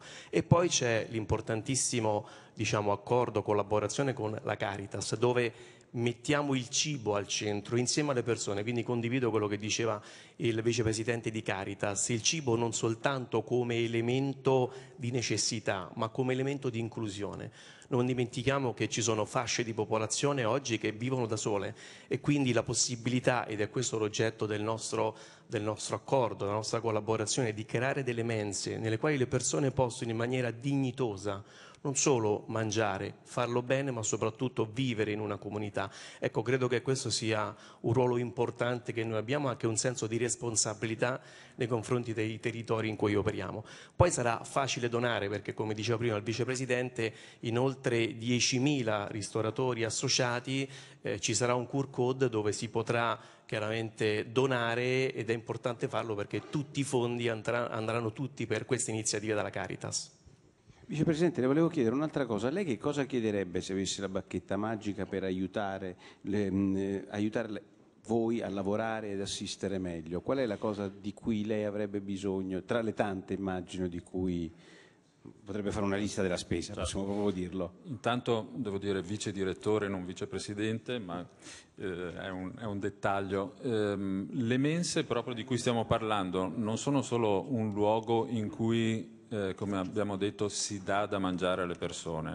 Il cibo è fondamentale, ovviamente eh, c'è ma è un luogo in cui eh, si, le persone si incontrano e anche un luogo di, in cui le persone, le comunità e i territori si mettono al servizio. Probabilmente mh, non voglio adesso chiedere per alzata di mano, però molti, anche qui in questa sala, avranno l'esperienza o loro o persone che conoscono di volontariato all'interno delle mense della, della Caritas o anche di altre organizzazioni. Questo è il valore che conta ancora di più del dare da mangiare, perché eh, il dare da mangiare è quasi una conseguenza, se vogliamo, perché risponde a un bisogno primario, ma questo bisogno primario corrisponde a un altro bisogno primario che è quello delle relazioni e queste relazioni devono essere coltivate e fatte sviluppare sui territori e nelle comunità. Quindi quello che chiedo è che ognuno eh, faccia la sua parte al di là del, del, sostegno economico, perché non è il sostegno economico che persegue la Caritas, ovviamente serve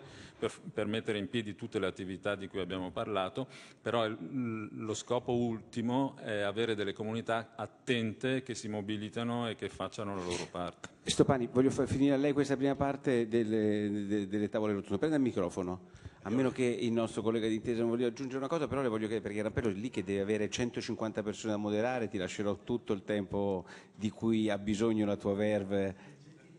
Sì, eccolo là però le voglio chiedere invece mi dica lei che cosa vorrebbe per aiutare. Io penso, sono sempre stato sconvolto dal fatto che noi sprechiamo alcune cose che potremmo non sprecare e mh, mm, compriamo delle cose, anche i ristoratori immagino. Ma guardi che sullo spreco la FIP, tanto per farci ancora eh. bella pubblicità, è tra i sostenitori con Confcommercio dell'Osservatorio internazionale Watcher che monitora quelli che sono evidentemente eh, le... Cosa potete fare? Cosa si può fare di più? Educazione, sensibilizzazione e soprattutto abbiamo anche lanciato il rimpiattino che è la versione italiana della doggy bag con la quale insomma si va al ristorante, puoi chiedere, oggi c'è la quasi totalità dei ristoranti italiani eh, attrezzati a servire il ah. rimpiattino, c'è ancora un fatto culturale per cui chiedere quelli che sono gli avanzi del vino o del cibo è visto come evidentemente un fatto non elegante con il rischio che poi si spreca del cibo che è un peccato mortale sapendo come insomma Caritas sa benissimo in questo mondo c'è ancora un problema di fame, di malnutrizione, di problemi di sete e soprattutto anche poi di malattia, ma questo è un altro tema. Per cui insomma quello che chiediamo... Ma si dice rimpiattino, io non lo sapevo, rimpi- Eh, rimpiattino, e il rimpiattino poi insomma c'è dietro anche un ragionamento eh, di logica anche grammaticale, perché eh, rimpiattare vuol dire mettere nel piatto, per cui rimpiattino da lì Ah, ok, vuol ok. dire rimpiattare quelli che sono gli avanzi e lei sa tra l'altro che la cucina italiana è fatta anche eh, contrastando lo spreco e riutilizzando quelle che sono le materie avanzate Eh, certo. per le ricette che conosciamo. Insomma. Bene, io direi che di chiudere qua, grazie veramente per il vostro sintetico contributo. Davide, a te la parola, grazie Presidente, così vai a fare subito intervista. Gra- grazie. eh. Il microfono è un passaggio, però devi... Sì, bene. Grazie, ti lascio. Grazie. Grazie, buongiorno. E lasciamo che il Presidente vada a fare la sua intervista e prima di iniziare le interviste qui dovremmo, se non sbaglio, collegarci con eh, le Marche, giusto? C'è qualcuno che mi può dire? Ecco, sì, perfetto. Allora ci colleghiamo con eh, la Confcommercio delle Marche dove ci sarà il direttore Massimiliano Polacco e, se non sbaglio, anche il presidente della regione, giusto? Vedo, io mi vedo bene, ma questa non era l'immagine che aspettavamo. Ah, mo è bella, è bella, non c'è niente da dire. Come ha detto il mio amico, prima questo succede in televisione, succede dappertutto e sta succedendo anche qui nella sala della regina. Se non siamo pronti io vado avanti tranquillamente, non c'è problema, se mi, de- se mi dite. Ah, eccolo, benissimo, ben trovato Presidente. nazionale, grazie ai ministri presenti, grazie al Presidente della Camera che, che ospita la nostra conferenza stampa. Qui stavamo parlando nel forum della ristorazione condotto dal rettore Gianluca Gregori tutti i problemi della ristorazione che stanno affrontando. Stiamo festeggiando, eccoci, vi vediamo. Siamo qui, vediamo, siamo qui. eh, come? Davide Lampella. Sì, sì, Davide Rampello, sono sì. E ci sono tutti gli altri ospiti sono seduti, sono solo io in piedi, perché aspettavamo il vostro collegamento per poi proseguire nei nostri lavori. Perciò a voi la parola. Perfetto, perfetto. Ti sento a scatti. Volevamo dire che le Marche stanno facendo un suo, eh, il suo lavoro per la- questa giornata della ristorazione che si svolgerà il 18. I, i ristoranti che, partecipa- che parteciperanno a questa giornata, cioè sabato, sono 948 aderieri, pertanto pensiamo di superare i 1000 in una regione così piccola oltre mille Complimenti, complimenti, parteciperanno a complimenti. questa festa che è la loro festa, è la loro eh, momento importante per eh, valorizzare il lavoro, la professionalità, la preparazione e, e quello che è per quanto riguarda lo sviluppo del territorio. Siamo alle porte di un turismo, riteniamo che la ristorazione possa svolgere al meglio il suo compito nel rilancio economico di un territorio fortemente colpito dal, territo- dal terremoto e poi chiaramente dal Covid e dalle alluvioni che sono state. Riteniamo anche questo oggi non è in qui presente perché sta arrivando il governatore che eh, stiamo sviluppando insieme questa attività e anche investimenti per poter rilanciare questo settore come panorama e sviluppo della ripresa economica delle Marche. Bene, vi ringraziamo e complimenti per il numero. Dovete sicuramente arrivare a mille, ma non ho dubbi che ciò accadrà. Per cui ringraziamo i nostri amici delle Marche. Grazie e buon lavoro. Grazie, grazie a voi. Bene, adesso voglio invitare qui i rappresentanti, gli amministratori, i direttori delle imprese che hanno sostenuto e che stanno sostenendo questa giornata. Perciò Gabrieli Angeli, direttore marketing della Oreca di Conserve d'Italia, Roberta Briccolo, presidente consorzio tutela vino, prima, prima, prima, io sto in piedi, prego, grazie. Alessandro Chiarini, responsabile degli affari legali del Consorzio Tutela Grano Padano, Antimo Caputo, amministratore delegato del Mulino Caputo, Giuliano Dalfò del gruppo CFO del gruppo San Pellegrino e Carlo Broglia, Business Integration Manager di Zucchetti Hospitality. Molto bene. Devo dire che sono molto contento di essere io a condurre perché l'importanza diciamo, delle imprese che credono in una iniziativa del genere è fondamentale. Poi imprese che rappresentano materie prime, che rappresentano appunto in molti casi l'inizio di, come è stato detto, della, della, della filiera cosiddetta. Allora comincio subito dal nostro direttore marketing del Conserve d'Italia. Voi tra l'altro avete nel vostro, nel vostro... Funziona? Funziona? Sì. Innanzitutto è una domanda che faccio a tutti voi in realtà, ossia per quanto sia importante per ciascuno di voi veramente, come posso dire, partecipare a questa festa. È una giornata, ma deve diventare una festa. Faccio una piccola riflessione su questo. Se voi pensate che, ad esempio, nella cultura rinascimentale, il personaggio più importante che era alla corte del duca o del principe era in assoluto lo scalco. Lo scalco era il, un umanista che era preposto a organizzare le feste del principe e evidentemente le organizzava all'altezza di quello che il principe voleva e aveva al suo servizio evidentemente pittori, scultori, architetti, poeti. Messis Bugo alla corte estense aveva a suo servizio Ludovico Ariosto. Cosa voglio dire? Voglio dire che da sempre nella cultura umanistica il momento della festa, il momento del simposio, del bere assieme, simposio, del convivio, del vivere assieme, era il punto centrale della rappresentazione e della rappresentazione della cultura di un principe, perciò di una regione, di un ducato, di un principato. Perciò fare oggi la festa della ristorazione è tutto quello che è stato detto, ma è come fosse la festa delle feste. Intendo dire, da un punto di vista culturale e simbolico, la tavola è il momento più alto dell'uomo. Non a caso, scusate, ma attorno a una tavola è stata fondata una religione.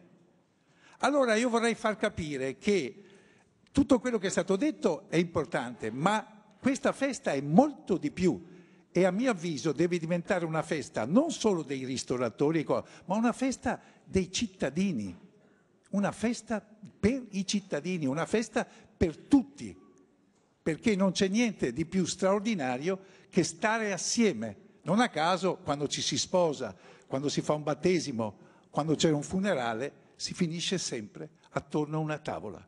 Gli uomini hanno bisogno della festa attorno a una tavola.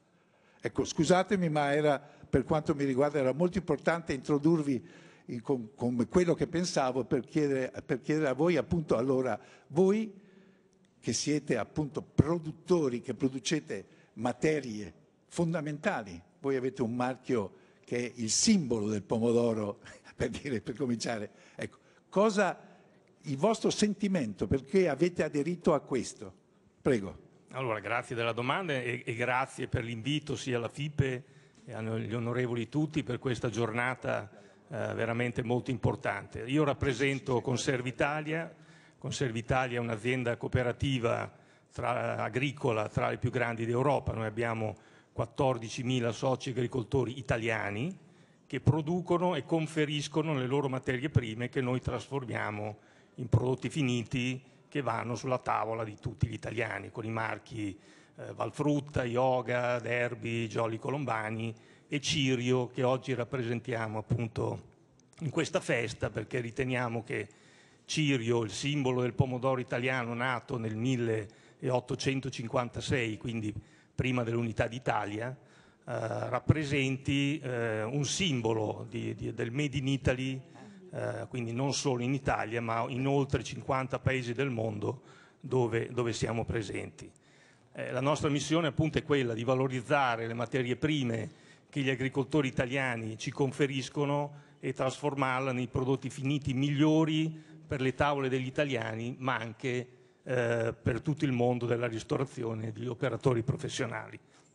Quindi per noi questa festa è non solo importante, è eh, un qualcosa che ci rende orgogliosi di partecipare a questa festa, perché riteniamo di avere eh, nel DNA tutti quegli elementi che fanno parte di questa festa, che è appunto una celebrazione del, del saper fare italiano, che in questo caso è nel mondo della convivialità, della ristorazione e quant'altro, ma è moltissimo anche nella produzione e nella capacità di fare prodotti, quindi questo Grazie. ci rende particolarmente orgogliosi Grazie. di questo. E dal pomodoro passiamo, passiamo al vino. Corretto, eh, ugualmente ecco. Eh, dal nostro punto di vista, ecco, preciso, io rappresento i produttori del vino Custoza Doc, dunque il vino bianco prodotto sulle colline moreniche tra la città di Verona e il lago di Garda. Anche noi siamo molto orgogliosi di essere al fianco e di sostenere la ristorazione di cui è indubbio condividiamo a pieno fino in fondo ideali, valori e obiettivi. Li abbiamo citati prima ampiamente eh, oltre alla ospitalità, lo spirito di servizio, anche questo rispetto delle tradizioni, la volontà di raccontare eh, il passato, le storie, ma anche il rispetto delle tipicità, l'identità. Penso ancora mh, proprio alla cura per quanto ci riguarda del paesaggio, quindi la protezione dei nostri territori.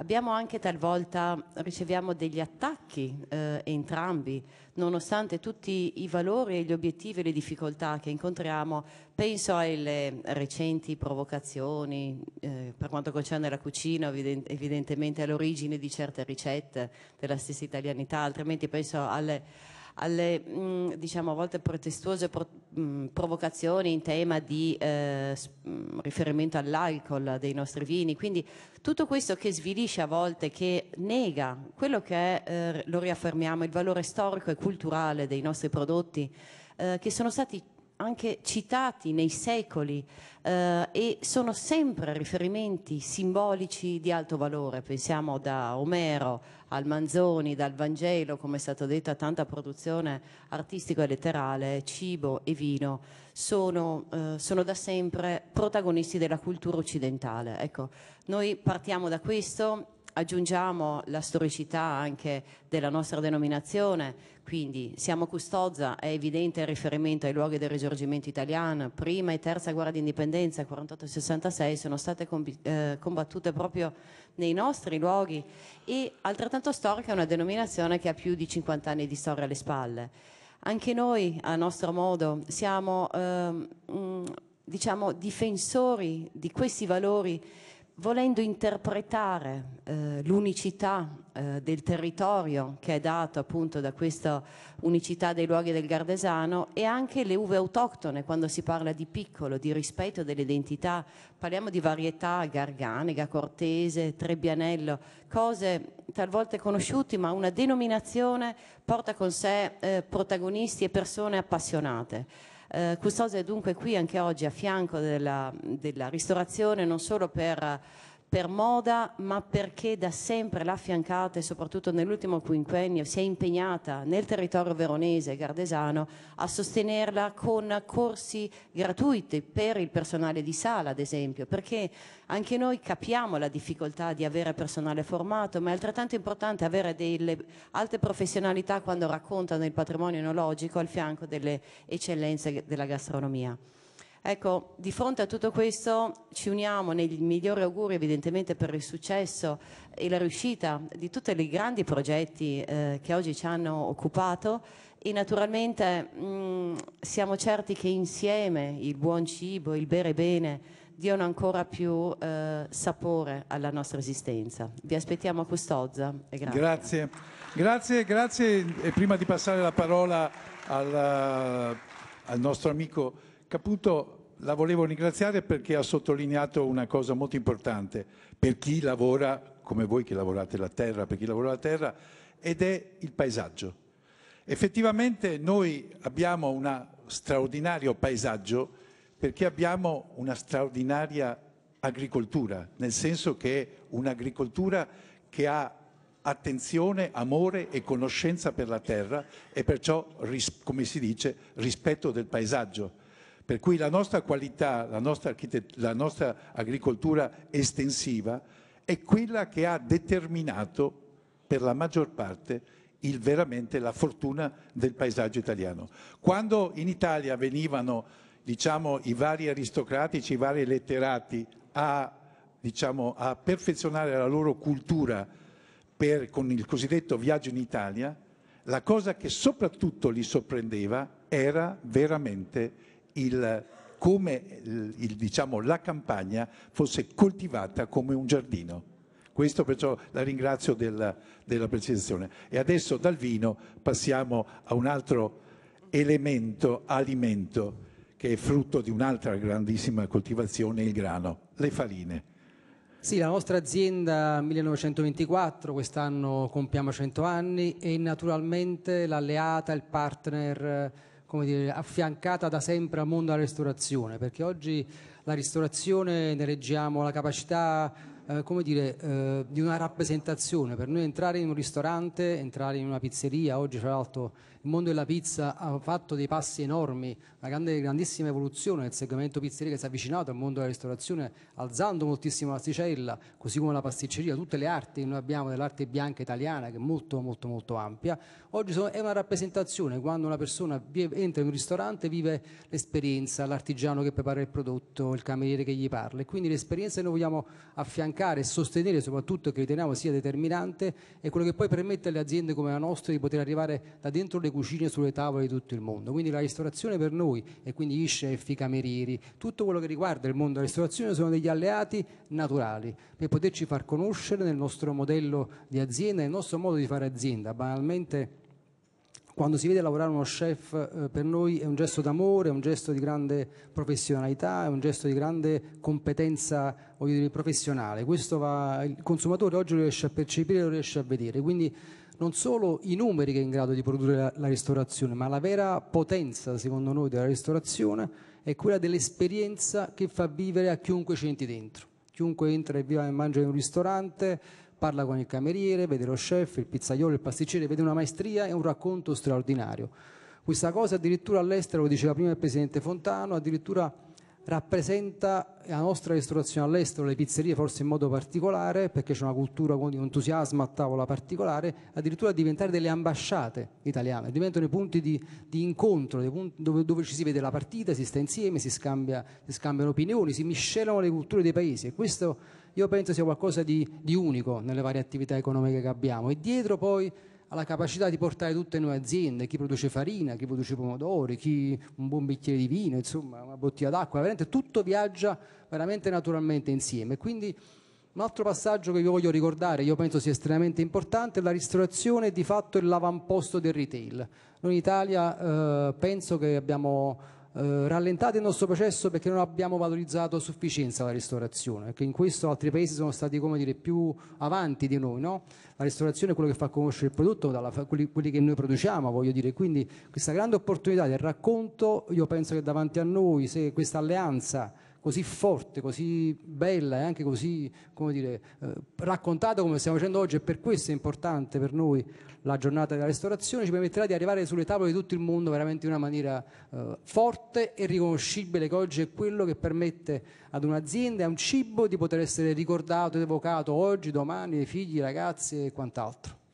La ringrazio, la ringrazio e ringrazio anche lei per aver sottolineato una cosa fondamentale, il racconto. Il racconto che deve essere non solamente il racconto delle cose, del cibo che stiamo mangiando, ma il racconto anche delle donne e degli uomini che quelle cose producono, allevano, e coltivano e trasformano. Perché evidentemente se sapremo raccontare la storia degli uomini, sapremo non solo aggiungere al sapore, perciò al sapere, una grande cosa, ma creeremo evidentemente delle, dei modelli, dei modelli. E non dimentichiamo che se cre creiamo, sappiamo creare modelli, come si diceva una volta, miti, i miti servivano per essere imitati. Perciò se, se creiamo modelli, evidentemente i modelli saranno poi imitati. Grazie. Prego. Sì, eh, buongiorno. Prego. Eh, io rappresento il Consorzio Tutela Grana Padano. A proposito di sapori e saperi, uno dei formaggi Quindi, più diciamo, antichi del, esatto, è un del formaggio mondo. antichissimo, eh, si parlava prima di sostenibilità ambientale, economica e sociale e ovviamente noi forse siamo la dimostrazione di questo come tutti gli altri prodotti di questo tipo. Ecco, abbiamo- mi scusi se Sì. interrompo, ma ci terrei una, a dire, giustamente su sostenibilità, eccetera, ma il mondo contadino, il mondo artigiano, il mondo degli agricoltori, sono stati i primi, ossia la sostenibilità, il non spreco, era parte integrante, era parte integrante della vita. Certo. Siamo noi che abbiamo creato lo spreco, noi cittadini, ossia chi abita, ma il contadino e l'artigiano, lo spreco non esisteva il concetto dello spreco, per cui noi dovremmo veramente, come posso dire, prendere loro a modello. Prego. Le dico di più, noi, una piccola digressione, proprio il grana padano è nato proprio come espediente per conservare il latte eh, eccedente che si era venuto a creare in una certa zona dove i monaci avevano bonificato un'area che prima era paludosa. Quindi sostanzialmente eh, c'è stata questa disponibilità di latte e si è dovuto trovare un modo per conservare e, e, diciamo queste- questo valore e non disperderlo eh, a fronte delle, delle mutate caratteristiche del, del territorio. Eh, però dicevo, ecco, mh, il Consorzio eh, vede con grande favore questa iniziativa e volevo per questo partire da un piccolo dato.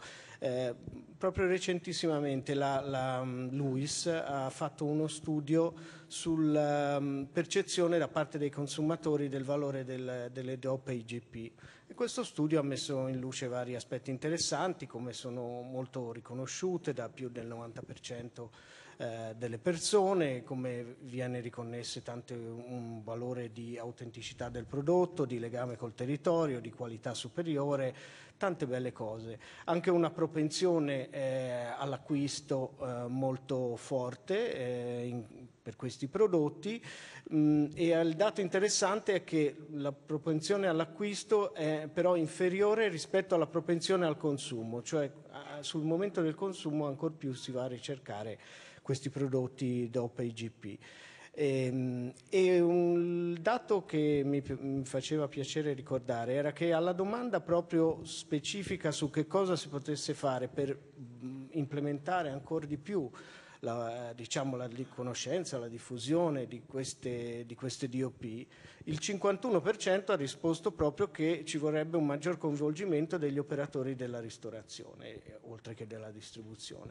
Quindi questo mi sembrava interessante perché eh, diciamo, eh, ci dà lo spunto per eh, parlare anche di quello che poi è stata un'iniziativa più recente che nell'ambito del CIBUS eh, il 7 maggio è stato sottoscritto un protocollo d'intesa fra l'AFIDOP, che è l'associazione che raggruppa i formaggi a denominazione d'origine protetta, e la FIPE, per ehm, così promulgare delle linee guida che vogliono essere diciamo, di, di aiuto agli operatori della ristorazione per eh, far sì che vengano proposti e valorizzati al meglio Quello che diceva il ministro, Esatto, a quello cui accennava il prima ministro, certo.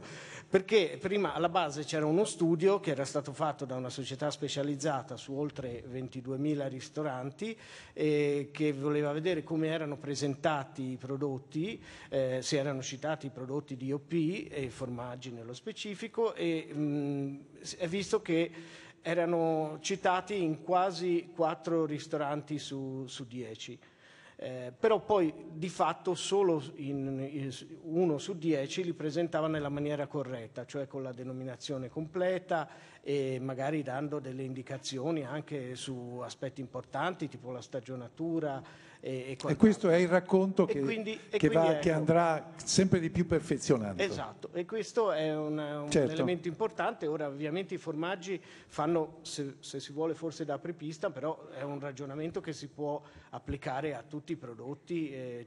Una volta nei ristoranti c'erano i carrelli di formaggi, si sono Esatto. andati un po' fuori uso. Infatti, questo, que- ne- ne- nell'ambito di quelle linee guida si tende a riproporre eh, anche questo, que- perché oltre a vari consigli sul, sulle modalità di servizio, la precisazione della Certo. l'utilizzo corretto della denominazione o anche dei loghi se, se autorizzati e quant'altro, c'è proprio un, un invito a riproporre il carrello dei formaggi in quanto tale perché sono spesso usati come ingredienti, il nostro è un formaggio versatilissimo e quindi è usato tantissimo come per questo utilizzo, però anche proprio nell'ambito del carrello dei formaggi, quindi in purezza, che dà sempre una bella carta di Grazie, presenza. grazie. Grazie, grazie per la precisazione. E adesso, dopo tutto questo, l'acqua. Adesso Cioè, parliamo di acqua. Buongiorno, L'acqua. io eh, grazie de- de- dell'invito, sono, rappresento il gruppo San Pellegrino, è un gruppo che è un punto di riferimento nel settore delle acque minerali e delle bibite e degli aperitivi non, non alcolici.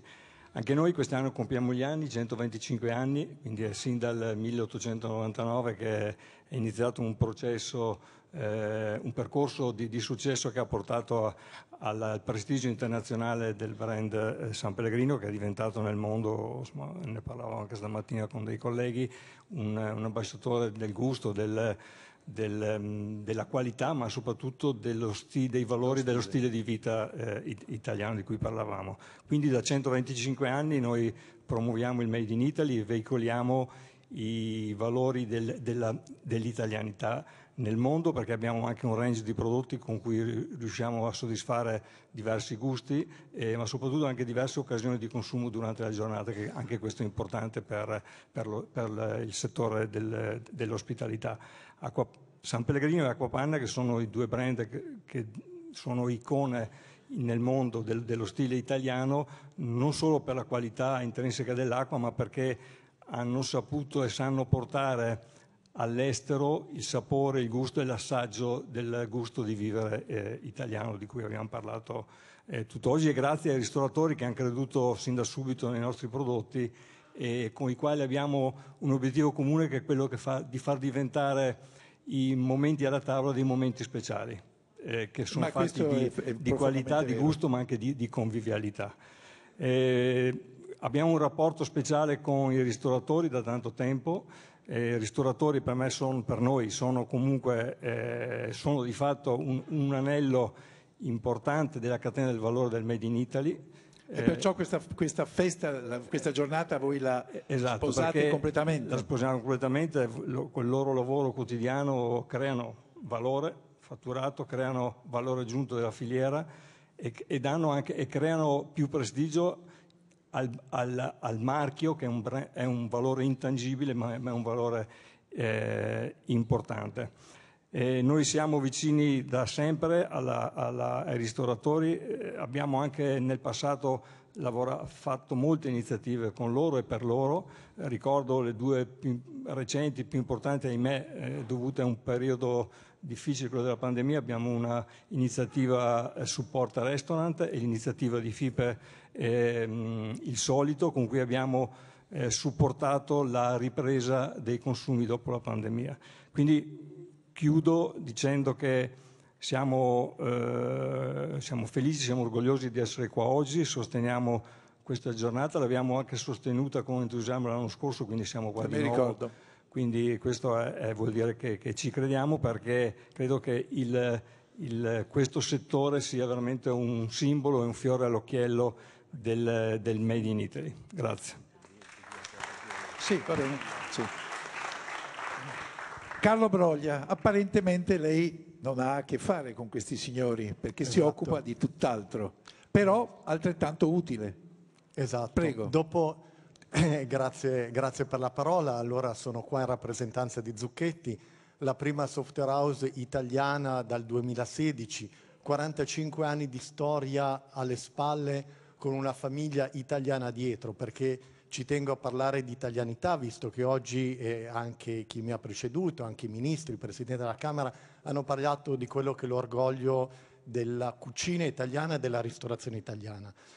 per cui noi siamo orgogliosi di essere italiani, di sponsorizzare questa, questa giornata della ristorazione come partner tecnologico. Così ci siamo definiti, perché abbiamo parlato di tanti bei prodotti, di tante belle cose, però dietro a tutto ciò cosa ci deve essere? Oltre al lavoro dell'uomo ci deve essere chi supporta il lavoro dell'uomo, ci deve essere la tecnologia, ci deve essere un processo di digitalizzazione, oggi molto di moda, ma necessario per far sì che tutto questo possa essere portato sulle tavole di noi italiani, in Italia e all'estero. E oltre alla digitalizzazione, naturalmente dobbiamo affacciarci al mondo dell'intelligenza artificiale. Noi siamo fra i precursori di questa tecnologia e quindi ecco perché siamo qua di fianco a FIPE, è la nostra prima giornata, ma sicuramente sarà inizio di una lunga serie perché la ristorazione italiana per noi è importantissima. Dobbiamo essere al loro fianco, tant'è che all'interno del gruppo, che oramai più di un miliardo e 300 milioni di fatturato, più di 8 mila persone, pensate che più di 550 sono dedicate solo al mondo dell'ospitalità. Ospitalità che per noi non è solo ristorazione, non è solo retail, visto che abbiamo parlato all'inizio con Vassiliskos di tutto quello che è il mondo degli hotel, noi siamo anche eh, molto presenti in, uh, in quest'area di, di business perché appunto all'interno di Hospitality ci occupiamo anche di tutta la parte di hotel. Quindi a 360 gradi ospitalità, ristorazione e sempre di fianco a FIPE in questa giornata della ristorazione. Grazie, un applauso, un applauso a tutti i nostri ospiti. Prego, se vi volete accomodare. Vi ringrazio veramente per le testimonianze che avete dato e per come le avete date. Ora voglio chiamare qui sul palco Maurizio Griffoni, dovevo chiamarlo all'inizio ma c'era il collegamento imminente, che è presidente della Fonte, che è una finanziaria. Le... Ecco, no, no, no, in piedi perché seduto non ha... Se, ha un... Se c'è un microfono, no, no, dal mio, va bene, non c'è... Ah, c'è il microfono, perfetto. Allora, la domanda è, è molto semplice. Un fondo appunto di eh, investimento come può valorizzare questo tutto questo enorme comparto.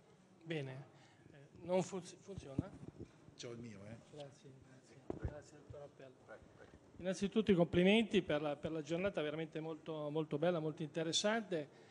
Eh, volevo fare un brevissimo inciso perché poi nel, nel manifesto che c'è della giornata della ristorazione leggo amore, qualità, ristoro, passione, comunità, relazione, ospitalità, tradizione, accoglienza, convivialità, uguaglianza e condivisione. Tanti valori espressi, importanti, ne aggiungerei uno, perché un ristoratore una volta mi disse guarda che l'aspetto interessante del nostro, del nostro lavoro è la fiducia, la fiducia che la persona quando viene a mangiare mangia, introduce al suo interno il cibo che gli diamo, un po' come la mamma, il bambino che accoglie. E quindi per noi è un gesto meraviglioso. Cosa può fare un fondo come questo? Noi siamo un fondo fonte, siamo il fondo di previdenza complementare nel settore del terziario, quindi voglio dire commercio, eh, eh, tutto il settore dei servizi, del turismo, della ristorazione e quant'altro.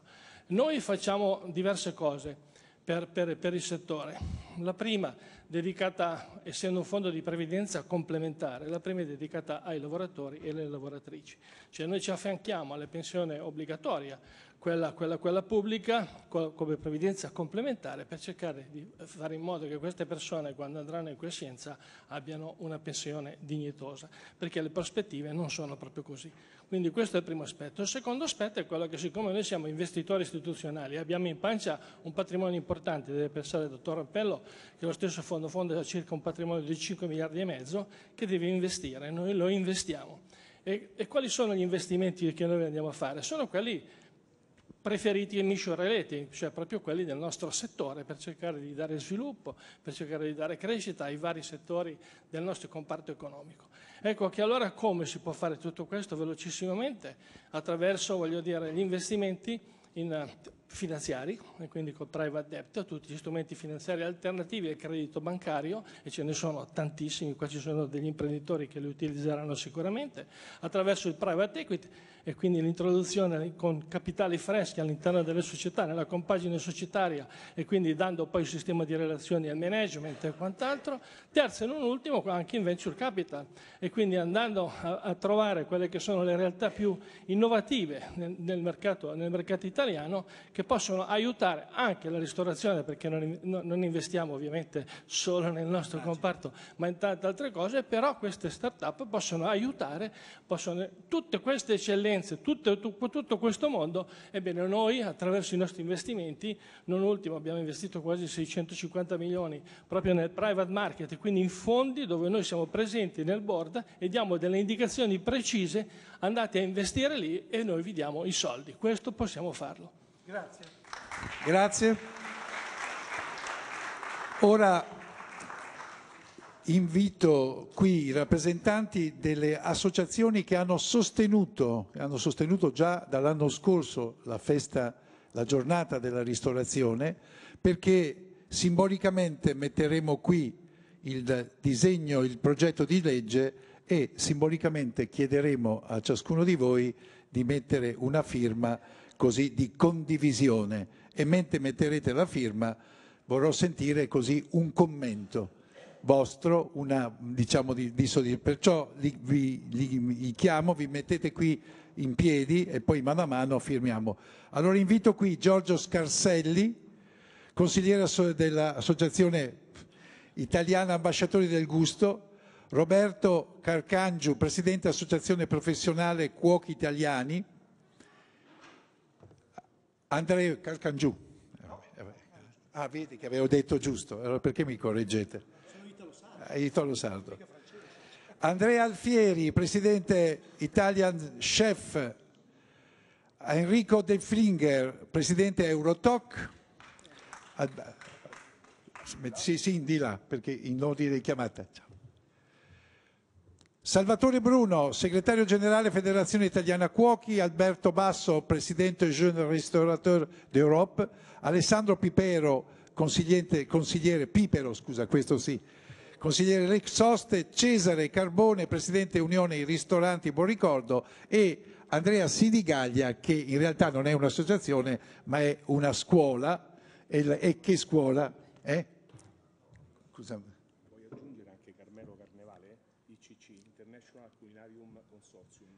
Perfetto, mi, mi, arriva adesso una comunicazione. Carmelo Carnevale, ICC International Culinarium Consortium. Prego. Ecco, prego, prego. Allora vi invito qui, dove la mettiamo la cosa? Ecco qua, così alla la firma in modo tale che si possa ad uno ad uno, il primo, Dopo che avete firmato vi faccio dire una vostra particolare, una vostra, visto che sono anch'io tra l'altro ambasciatore del gusto. Allora giriamoci un attimo perché a favore di camera. Eh, gli ambasciatori del gusto nascono nel 2016 dopo l'Expo e noi siamo un'associazione che comprende al proprio interno eh, sia professionisti della ristorazione che professori universitari, pasticceri, pizzaioli, eh, nell'idea di promuovere diciamo, il, il, il, il, gusto italiano e l'attenzione italiana ai prodotti del territorio e alla ristorazione. E siamo contenti oggi di essere qui perché abbiamo la possibilità di condividere la nostra visione con tante altre associazioni quello di cui abbiamo bisogno è non solo una giornata ovviamente celebrativa che può essere una cosa eh, importante, ma la condivisione di visioni sul futuro, perché la ristorazione sta affrontando un periodo piuttosto particolare, sì, lo diceva anche il Presidente Zuppani, legato soprattutto alla difficoltà di reperire personale. Il nostro mestiere non ha più appeal sui, sui giovani, per cui il... Ecco l'importante di, di, portare il fascino di, questo, di questi lavori, sì. di portare il fascino di questi lavori. Questo sicuramente, sicuramente, ma anche quello di collaborare tra associazioni per, per avere una visione comune che ci possa aiutare ad uscire fuori da questo impasse. Grazie, prego. prego. Prima la firma.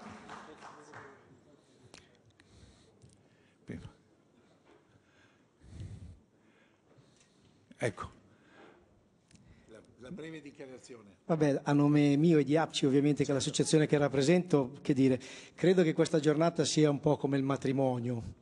Tutti oggi siamo qua, il lavoro comincia oggi. Grazie, grazie, grazie veramente a tutti perché questa è l'unica cosa che si può dire. Tutto quello che c'era di buono da dire l'avete già detto. La parte cattiva è rimasta nascosta, dobbiamo tirarla fuori per farla funzionare. Bravo, bravo, bravo bravissimo. Prego.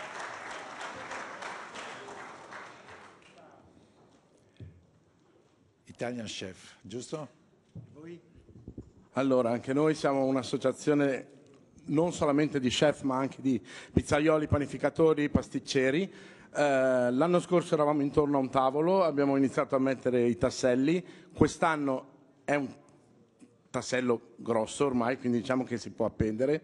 Ringraziamo la FIPE perché il problema grosso nelle associazioni è unirsi, cioè ogni, ogni, associazione alla fine gioca un suo campionato, poi alla fine quando però devi arrivare in certe, in certe posizioni, in certe istituzioni hai bisogno di qualcuno che ti ci porta. La FIPE l'ha fatto, si è messa a disposizione anche delle associazioni per tenerle unite, come era venuto fuori in una call eh, poco tempo fa, perché il problema nostro poi è proprio quello. Quindi speriamo di continuare e l'anno prossimo, non so, dove saremo l'anno prossimo nella, in questa giornata? Una sorpresa?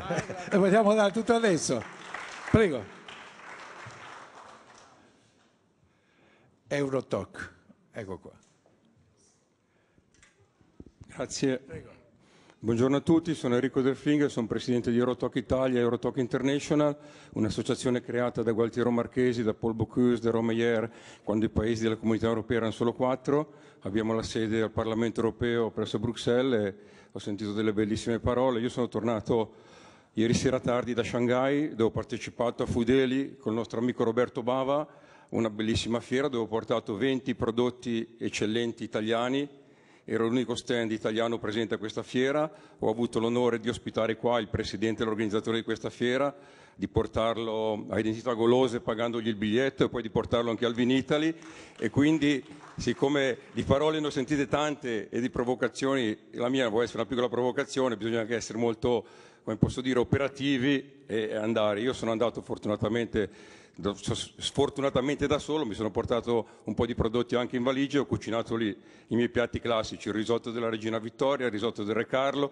e i tagliolini neri al tartufo. Ho portato queste 20 eccellenze e ho potuto scoprire eh, e poi alla fine anche premiare dei prodotti molto interessanti legati anche a un'altra cultura molto diversa dalla nostra. Grazie. Sicuramente quello che facciamo è molto importante e noi ci teniamo molto a essere qua e saremo sempre presenti con gli amici della FIP. Grazie a te.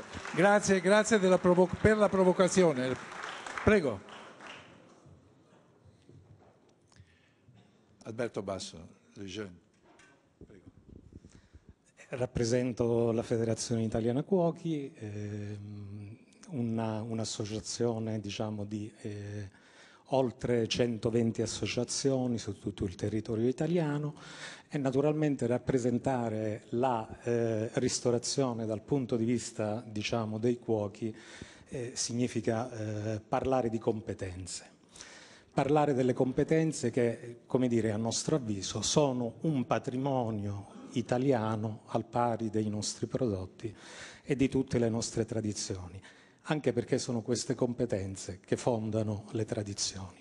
A me piace sempre molto il suo richiamo diciamo, al Rinascimento, eh, perché parlare del Rinascimento significa parlare di gusto. I cuochi sono anche, oltre ad essere ambasciatori del territorio, sono forse per primi ambasciatori del gusto. Lo devono diffondere, lo devono creare a volte e eh, una volta mi fu chiesto, dice, ma si può, edica- si può, educare al gusto? Perché diciamo è una facoltà soggettiva, no?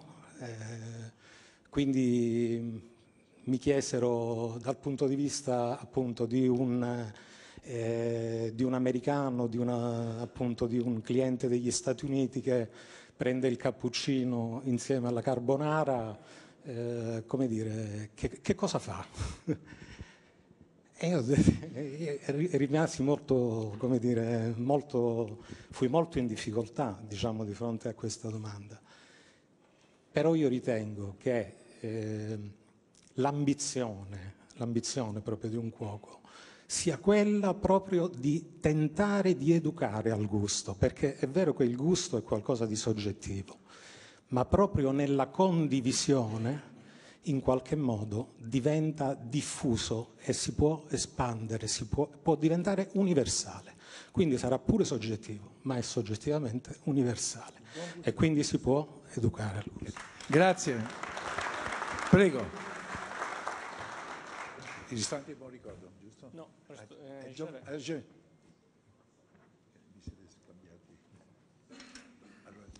Prego. Buongiorno a tutti, sono presidente dei giovani ristoratori italiani. Ringrazio FIPE per questo bellissimo evento, questa iniziativa. Per me è un piacere essere qua e è un piacere perché, perché comunque grazie a, a questa giornata è importante che noi tra associazioni cominciamo a parlare di più, a conoscerci di più, per portare in giro per l'Italia, ma anche il- nel mondo, l'importanza della cucina ta- italiana, il bello della cucina italiana. Noi siamo, siamo pochi, siamo un'ottantina, poco più di 80 associati, però siamo molto molto molto coesi e mi auguro che insieme a Roberto, insieme ad Andrea, insomma insieme a tutte le altre associazioni, di fare più coesione possibile per portare in alto questa bellissima iniziativa. Grazie. Grazie a lei. Prego, adesso il ristorante del buon ricordo, giusto?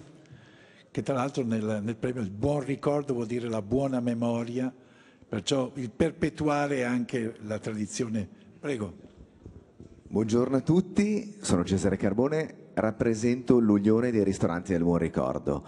Eh, noi rappresentiamo la tradizione dell'eccellenza della cucina regionale, siamo un'associazione che esiste da 60 anni, quindi è nata dal 1964, proprio quest'anno compiamo 60 anni di attività e eh, portiamo avanti quello che è- vuole essere la tradizione, l'eccellenza della tradizione regionale, l'eccellenza nell'accoglienza, eh, crediamo molto nei valori nella ristorazione di famiglia e eh, stiamo cercando di portare avanti in, in- in grandissimo modo questa- quest- questi valori, questa associazione che da 60 anni vive e chiaramente cambia, noi siamo un centinaio attualmente, chiaramente non tutti, ci sono stati dei cambi generazionali, ci sono stati, il mondo è cambiato, ma noi crediamo molto in questi valori, crediamo molto nella cucina regionale che può essere declinata in maniera più o meno innovativa, ma deve avere una forte identità di quelli che sono i nostri grandi valori della cucina italiana regionale. Quindi ringrazio Fife per la bellissima giornata, per quello che sta facendo per noi e un caro saluto, grazie. No, per ultimo, no, no, no, aspetta, prima facciamo le associazioni. Prego, Carmelo Carnevale, prego. Eh sì, eh, avevo detto che Alma... Allora, eh, prego. Volevo ringraziare a FIPE e a tutti voi per noi oggi, e per me scusate l'emozione, però è un momento importante.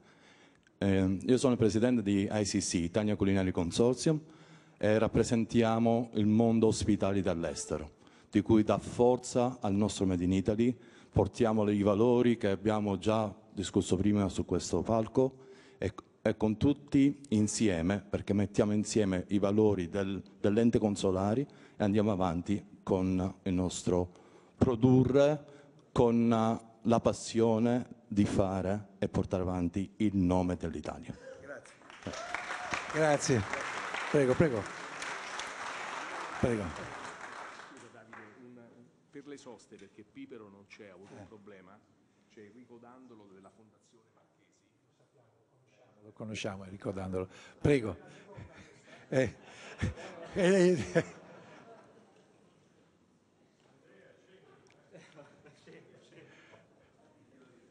prego, una parola. Sì, ve- velocissimo. Io sono ricordando della Fondazione Gualtiero Marchesi. Le soste sono state fondate dal 1900 nel 1982 da Marchesi e un gruppo di amici, tu, tu- tu c'eri, proprio per eh, cominciare un percorso prendendo dal- eh, dal, dal modello francese di associazione di ristoranti e dire perché noi non creiamo una prima associazione di ristoranti e portiamo avanti l'immagine dell'alta cucina italiana in modo tale che i clienti che vengono possiamo indirizzarli e, e eh, coinvolgerli diciamo, in una ristorazione eh, di alto livello. Quindi è un, veramente un piacere, Marchesi sarebbe veramente molto contento della giornata della giornata della ristorazione perché anche a livello europeo eh, era nata la, la giornata della cucina altre cose, dice in Italia dobbiamo fare qualcosa, quindi grazie a Lino Stoppani e alla FIPE per aver fatto questo.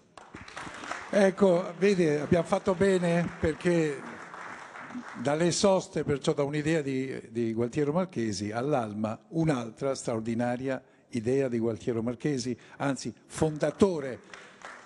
Filmato? Ecco, ho tenuto per ultimo perché dopo tutte, diciamo, tutti quello che abbiamo ascoltato, eccetera, l'esigenza fondamentale per tutti è quella formativa, che non è solo l'esigenza del mondo della ristorazione, ma un'esigenza nazionale. Formare, ossia dar forma a donne e uomini, è il vero dettato che ogni paese dovrebbe darsi. In questo caso, in questo comparto, è assolutamente strategico, importante. Voi siete la scuola di cucina e siete diventati una scuola di cucina come modalità, come metodo, eccetera, che fa scuola anche all'estero, non solo per portare la cucina italiana, ma per mutuare modelli formativi, giusto? Questo mi fa piacere appunto un breve, un breve, ok. Grazie Davide, ringrazio la FIPE, siamo stati onorati e felici ieri di aver lanciato la giornata da Colorno con tutti i nostri studenti, siamo onorati e felici di essere qui. Si è parlato tanto di scuola oggi, una nota brevissima, se l'obiettivo è la cultura dell'ospitalità, le scuole sono un tassello, ma come si dice nel proverbio africano, per educare un fanciullo serve un villaggio. Credo che qui oggi ci sia la comunità educante, la scuola ha profondamente bisogno di chi è sul campo, chi è sul campo ha bisogno della scuola, bisogna investire nella scuola. Già tanti chef eh, hanno a cuore Alma, ma non dimentichiamoci tutte le scuole alberghiere e dico solo che con FIPE abbiamo una progettualità molto importante di associare queste scuole e diventare una voce univoca nelle nostre differenze anche in questo campo. Grazie a tutti. Grazie per aver sottolineato una cosa, la comunità educante, nel senso che tutti noi siamo comunità innanzitutto e tutti noi dobbiamo essere educatori a nostra volta. Questo è un punto irrinunciabile.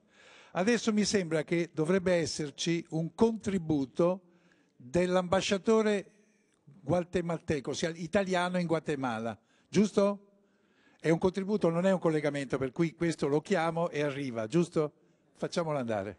Ho il piacere di darvi il nostro saluto dal Guatemala, sono l'ambasciatore d'Italia in Guatemala Paolo De Nicolo e, e, per questa celebrazione della giornata della ristorazione italiana nel mondo abbiamo il piacere di essere eh, qui con il segretario generale della Camera di Commercio Italo-Guatemalteca, il dottor Gabriele Musso, nonché eh, delegato dell'Accademia Italiana della Cucina e, e il, abbiamo il pregio di avere il nostro Leonardo Nardini, il maestro eh, di cucina, nonché eh, proprietario e gestore del ristorante Bulgari nel centro eh, eh, Fontaveglia della città eh, di Guatemala. Abbiamo anche la presentazione de, de, dei piatti preparati dal, dal, nostro chef e, e lascio la parola al dottor Musto. Buongiorno a tutti, come Camera di Commercio Italiana in Guatemala abbiamo accolto la seconda edizione della della giornata della ristorazione italiana nel mondo, facendo due attività, una come Sistema Italia e la Municipalità di Città del Guatemala. Mostreremo i piatti di sette ristoranti italiani in Guatemala.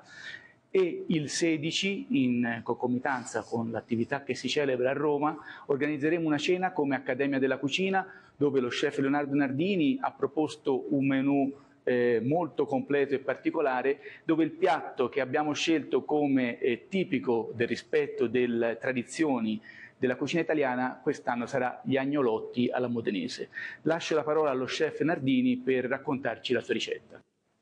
Gli agnolotti sono un, un, piatto del ricordo per me perché eh, rappresentano il recupero degli arrosti che faceva la domenica mia nonna.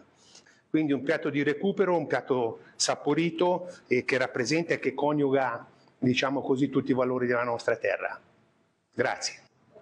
Assaggiamo quindi l'opera del nostro eh, chef eh, Nardini e con tutto il piacere di farlo. Un applauso, un applauso per la buona volontà e per l'intelligenza di averlo fatto. Ora chiamo qui un attimo sul palco Paolo Marchi, Lupini e Carlo Golla. Prego. Vi sedete perché vedo, certo, prego. Evidentemente sono tre personaggi che attengono al mondo della ristorazione, ma attengono, uno no sicuramente, questo alla mia sinistra, ma attengono tutti fortemente al mondo della comunicazione.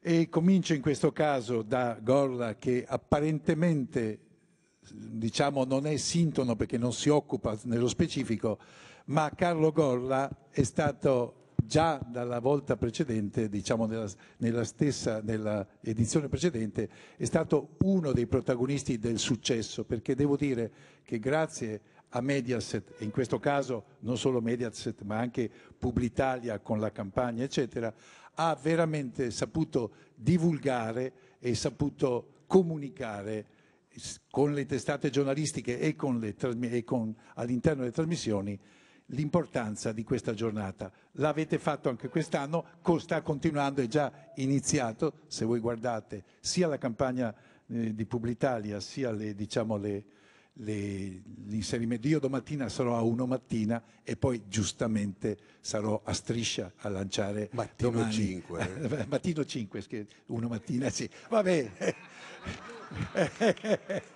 Vabbè, mattino 5, si doveva chiamare uno mattina. Capito, mi ha sbagliato la squadra. Dai Carlo.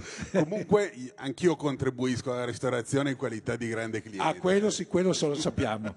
quello ogni volta che siamo assieme è, una, è veramente no, una festa. La comunicazione, cioè io mi occupo di televisione, di comunicazione, per cui raccontiamo alla gente quello che vuole sapere, cioè noi dobbiamo avere quella sensibilità, cercare di capire che cosa vuole la gente per raccontargli.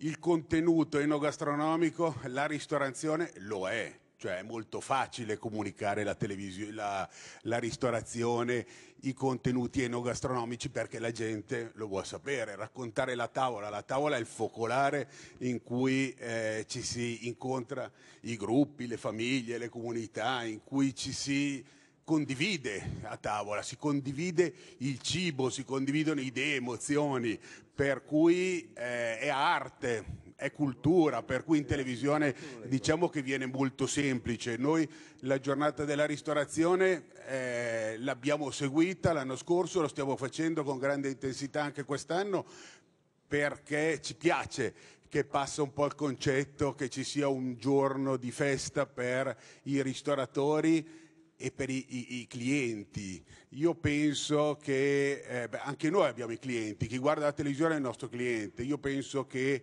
il, eh, le aspettative che i clienti riservano verso noi come televisione o verso voi come ristoratori siano il motore dell'innovazione, per cui penso che il più bel racconto e voi il più bel piatto lo dobbiamo ancora fare, perché per accontentare, per alzare le aspettative che la gente ha in noi ci dobbiamo sempre migliorare, noi con un prodotto, con un racconto televisivo e voi con una tavola o un piatto.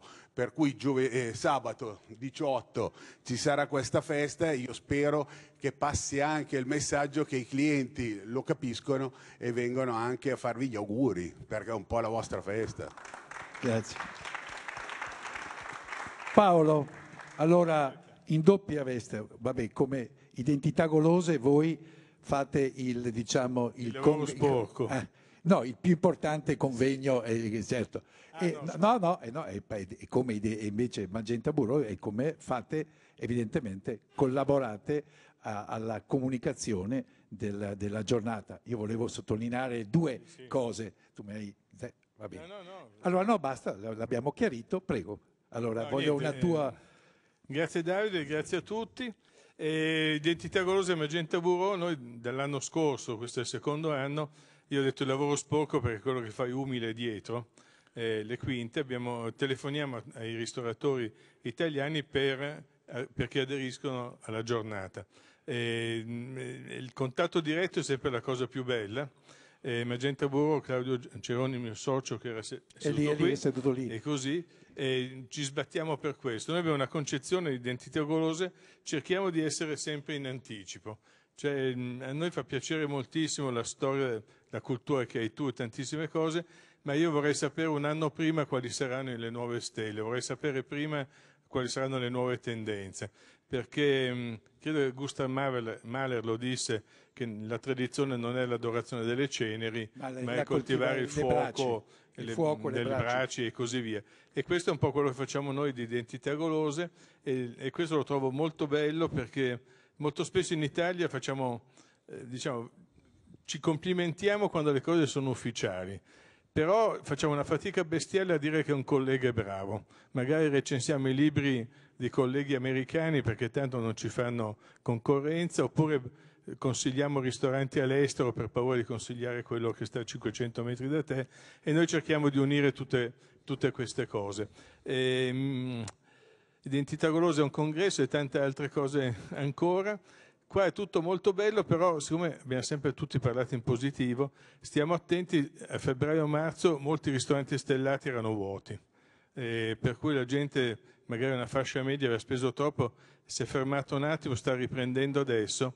E la seconda cosa, l'aveva detto Dandolo alla conferenza di Milano, ma lo verifico anche perché mio, figlio fa il cameriere in giro per il mondo, una volta si andava a studiare cucina, diciamo, dai francesi, adesso vai anche dagli scandinavi, dai peruviani per il ceviche e così via, però da alcuni anni gli italiani quasi tutti non tornano più in Italia, cioè guadagnano così bene all'estero e sono così coccolati, ricevono alberghi e così via, che quando li chiami per chiedergli, ma senti a 1500 euro vieni, e quindi dici, io me ne sto a Copenaghen.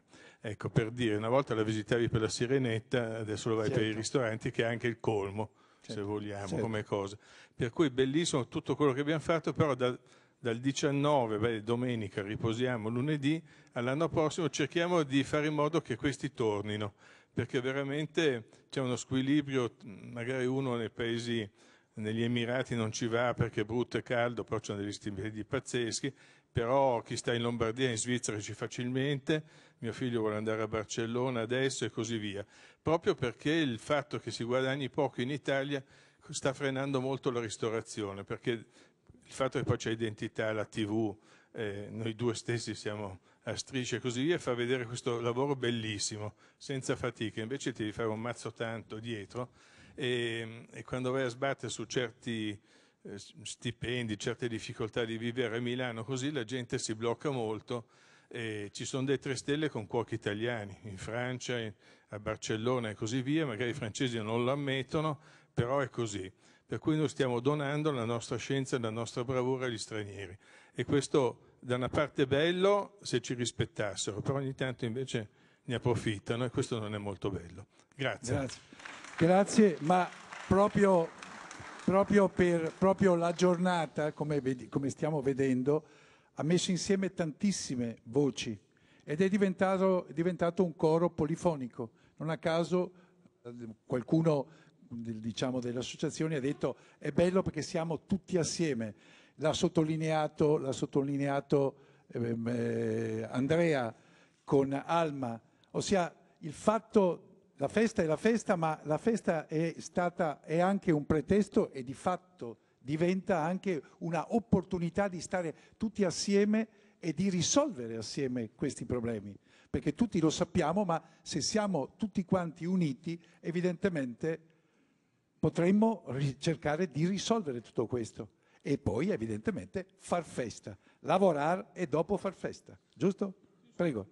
Ultima. Bah, quello che hai appena detto credo che sia il dato centrale di questa occasione, cioè al di là della festa che eh, sì è un momento temporaneo, è un momento che serve per sottolineare l'importanza di questo settore, è già stato detto da tutti, ma quello che secondo me significativo del fatto di trovarci qui dopo essere stati l'anno scorso al Ministero del Made in Italy è, è questa vittoria di questa scommessa della FIPE che ha fatto di raccogliere tutto il mondo della, della ristorazione e credo che questo fosse Questo va dato atto fosse- al Presidente e a tutto il suo staff, veramente. E io lo voglio riconoscere perché insomma ritenendo di essere una delle persone più vicine, credo, a- agli amici che dirigono la FIPE, è una cosa che bisogna riconoscergli perché sia- questo è stato un passaggio epocale per il nostro mondo, cioè sono sfilate prima le associazioni che per tanti motivi comprensibilissimi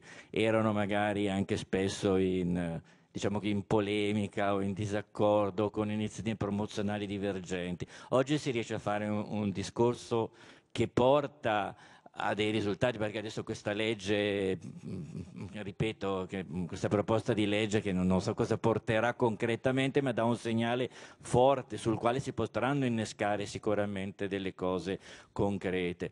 Ecco, quello che per me è fondamentale è stato però anche poi sottolineato da alcuni degli intervenuti prima degli imprenditori, che tra l'altro sono anche nostri partner nella maggior parte dei casi, questo è un altro elemento di soddisfazione personale, quando parlavano anche di altri soggetti, e questo lo voglio dire senza togliere nulla ovviamente agli amici cuochi che sono il, il- il punto di riferimento anche per noi da quasi 40 anni, ma ci sono i metra, ci sono i sommelier, ci sono tutti i soggetti che concorrono a rendere forte la ristorazione come modello di stile italiano, che questa è la cosa che da anni vado ripetendo.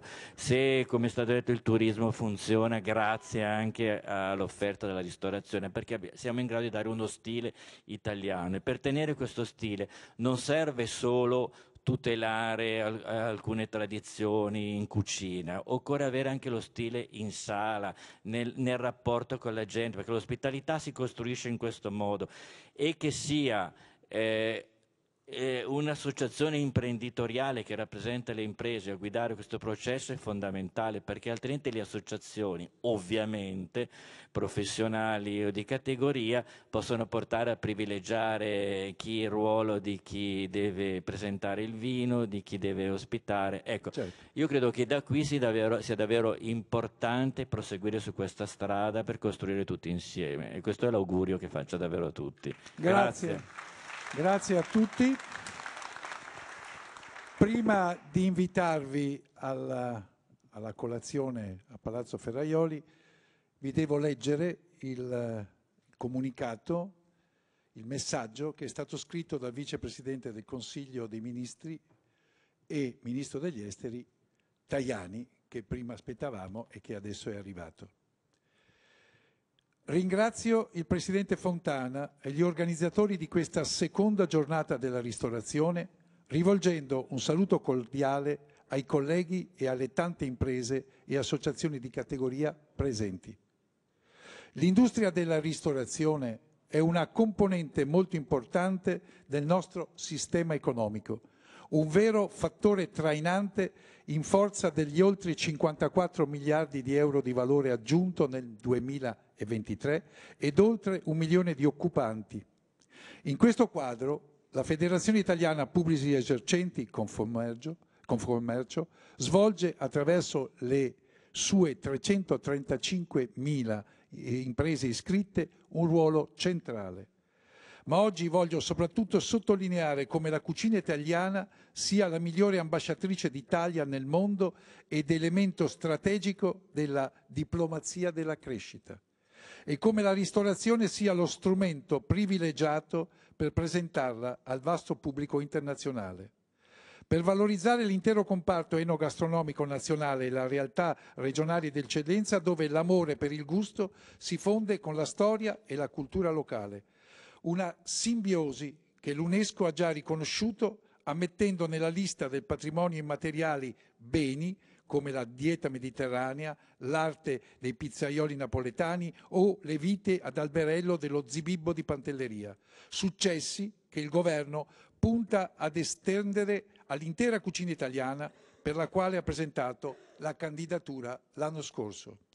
La ristorazione è infatti una componente altamente identitaria dei territori, come ricordato dall'onorevole Squeri e dagli altri onorevoli deputati firmatari del progetto di legge sulla formale istituzione della giornata della ristorazione.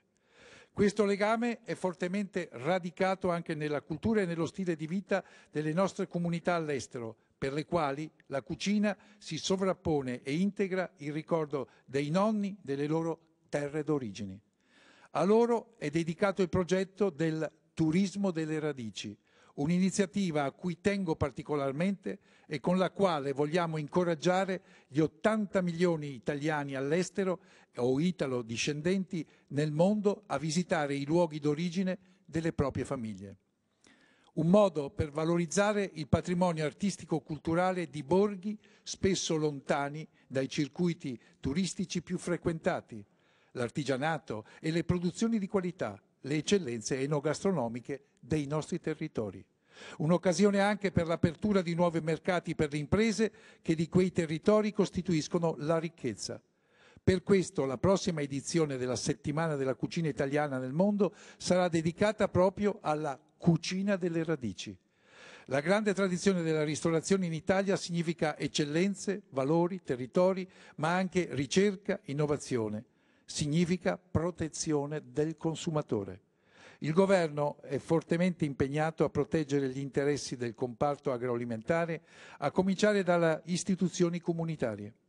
Penso alla nostra battaglia per, per, scusate, per etichetta, etichettature che informino il consumatore su basi scientifiche, valorizzando così la qualità dei nostri prodotti alla base di una dieta mediterranea che ovunque nel mondo è sinonimo di salute. Penso anche all'offensiva contro il falso italiano che inganna i consumatori e arreca un forte pregiudizio alle nostre esportazioni, un tema per noi assolutamente strategico. Voglio ringraziare la FIPE Confcommercio e tutte le associazioni di categoria che ci sono vicine in questa attività di promozione e salvaguardia. Il saper fare dei nostri cuochi e l'eccellenza delle materie prime sono infatti il nostro miglior biglietto da visita entro e di fuori dai confini nazionali. Insieme si vince, insieme promuoviamo la ristorazione italiana come vera eccellenza nazionale che contribuisce a definire il modo di vivere italiano, capace di attirare turisti e investimenti e favorire le nostre esportazioni. Contate su di me, contate sul governo. Grazie. Rinnovo a tutti voi l'invito adesso a colazione a Palazzo Ferraioli.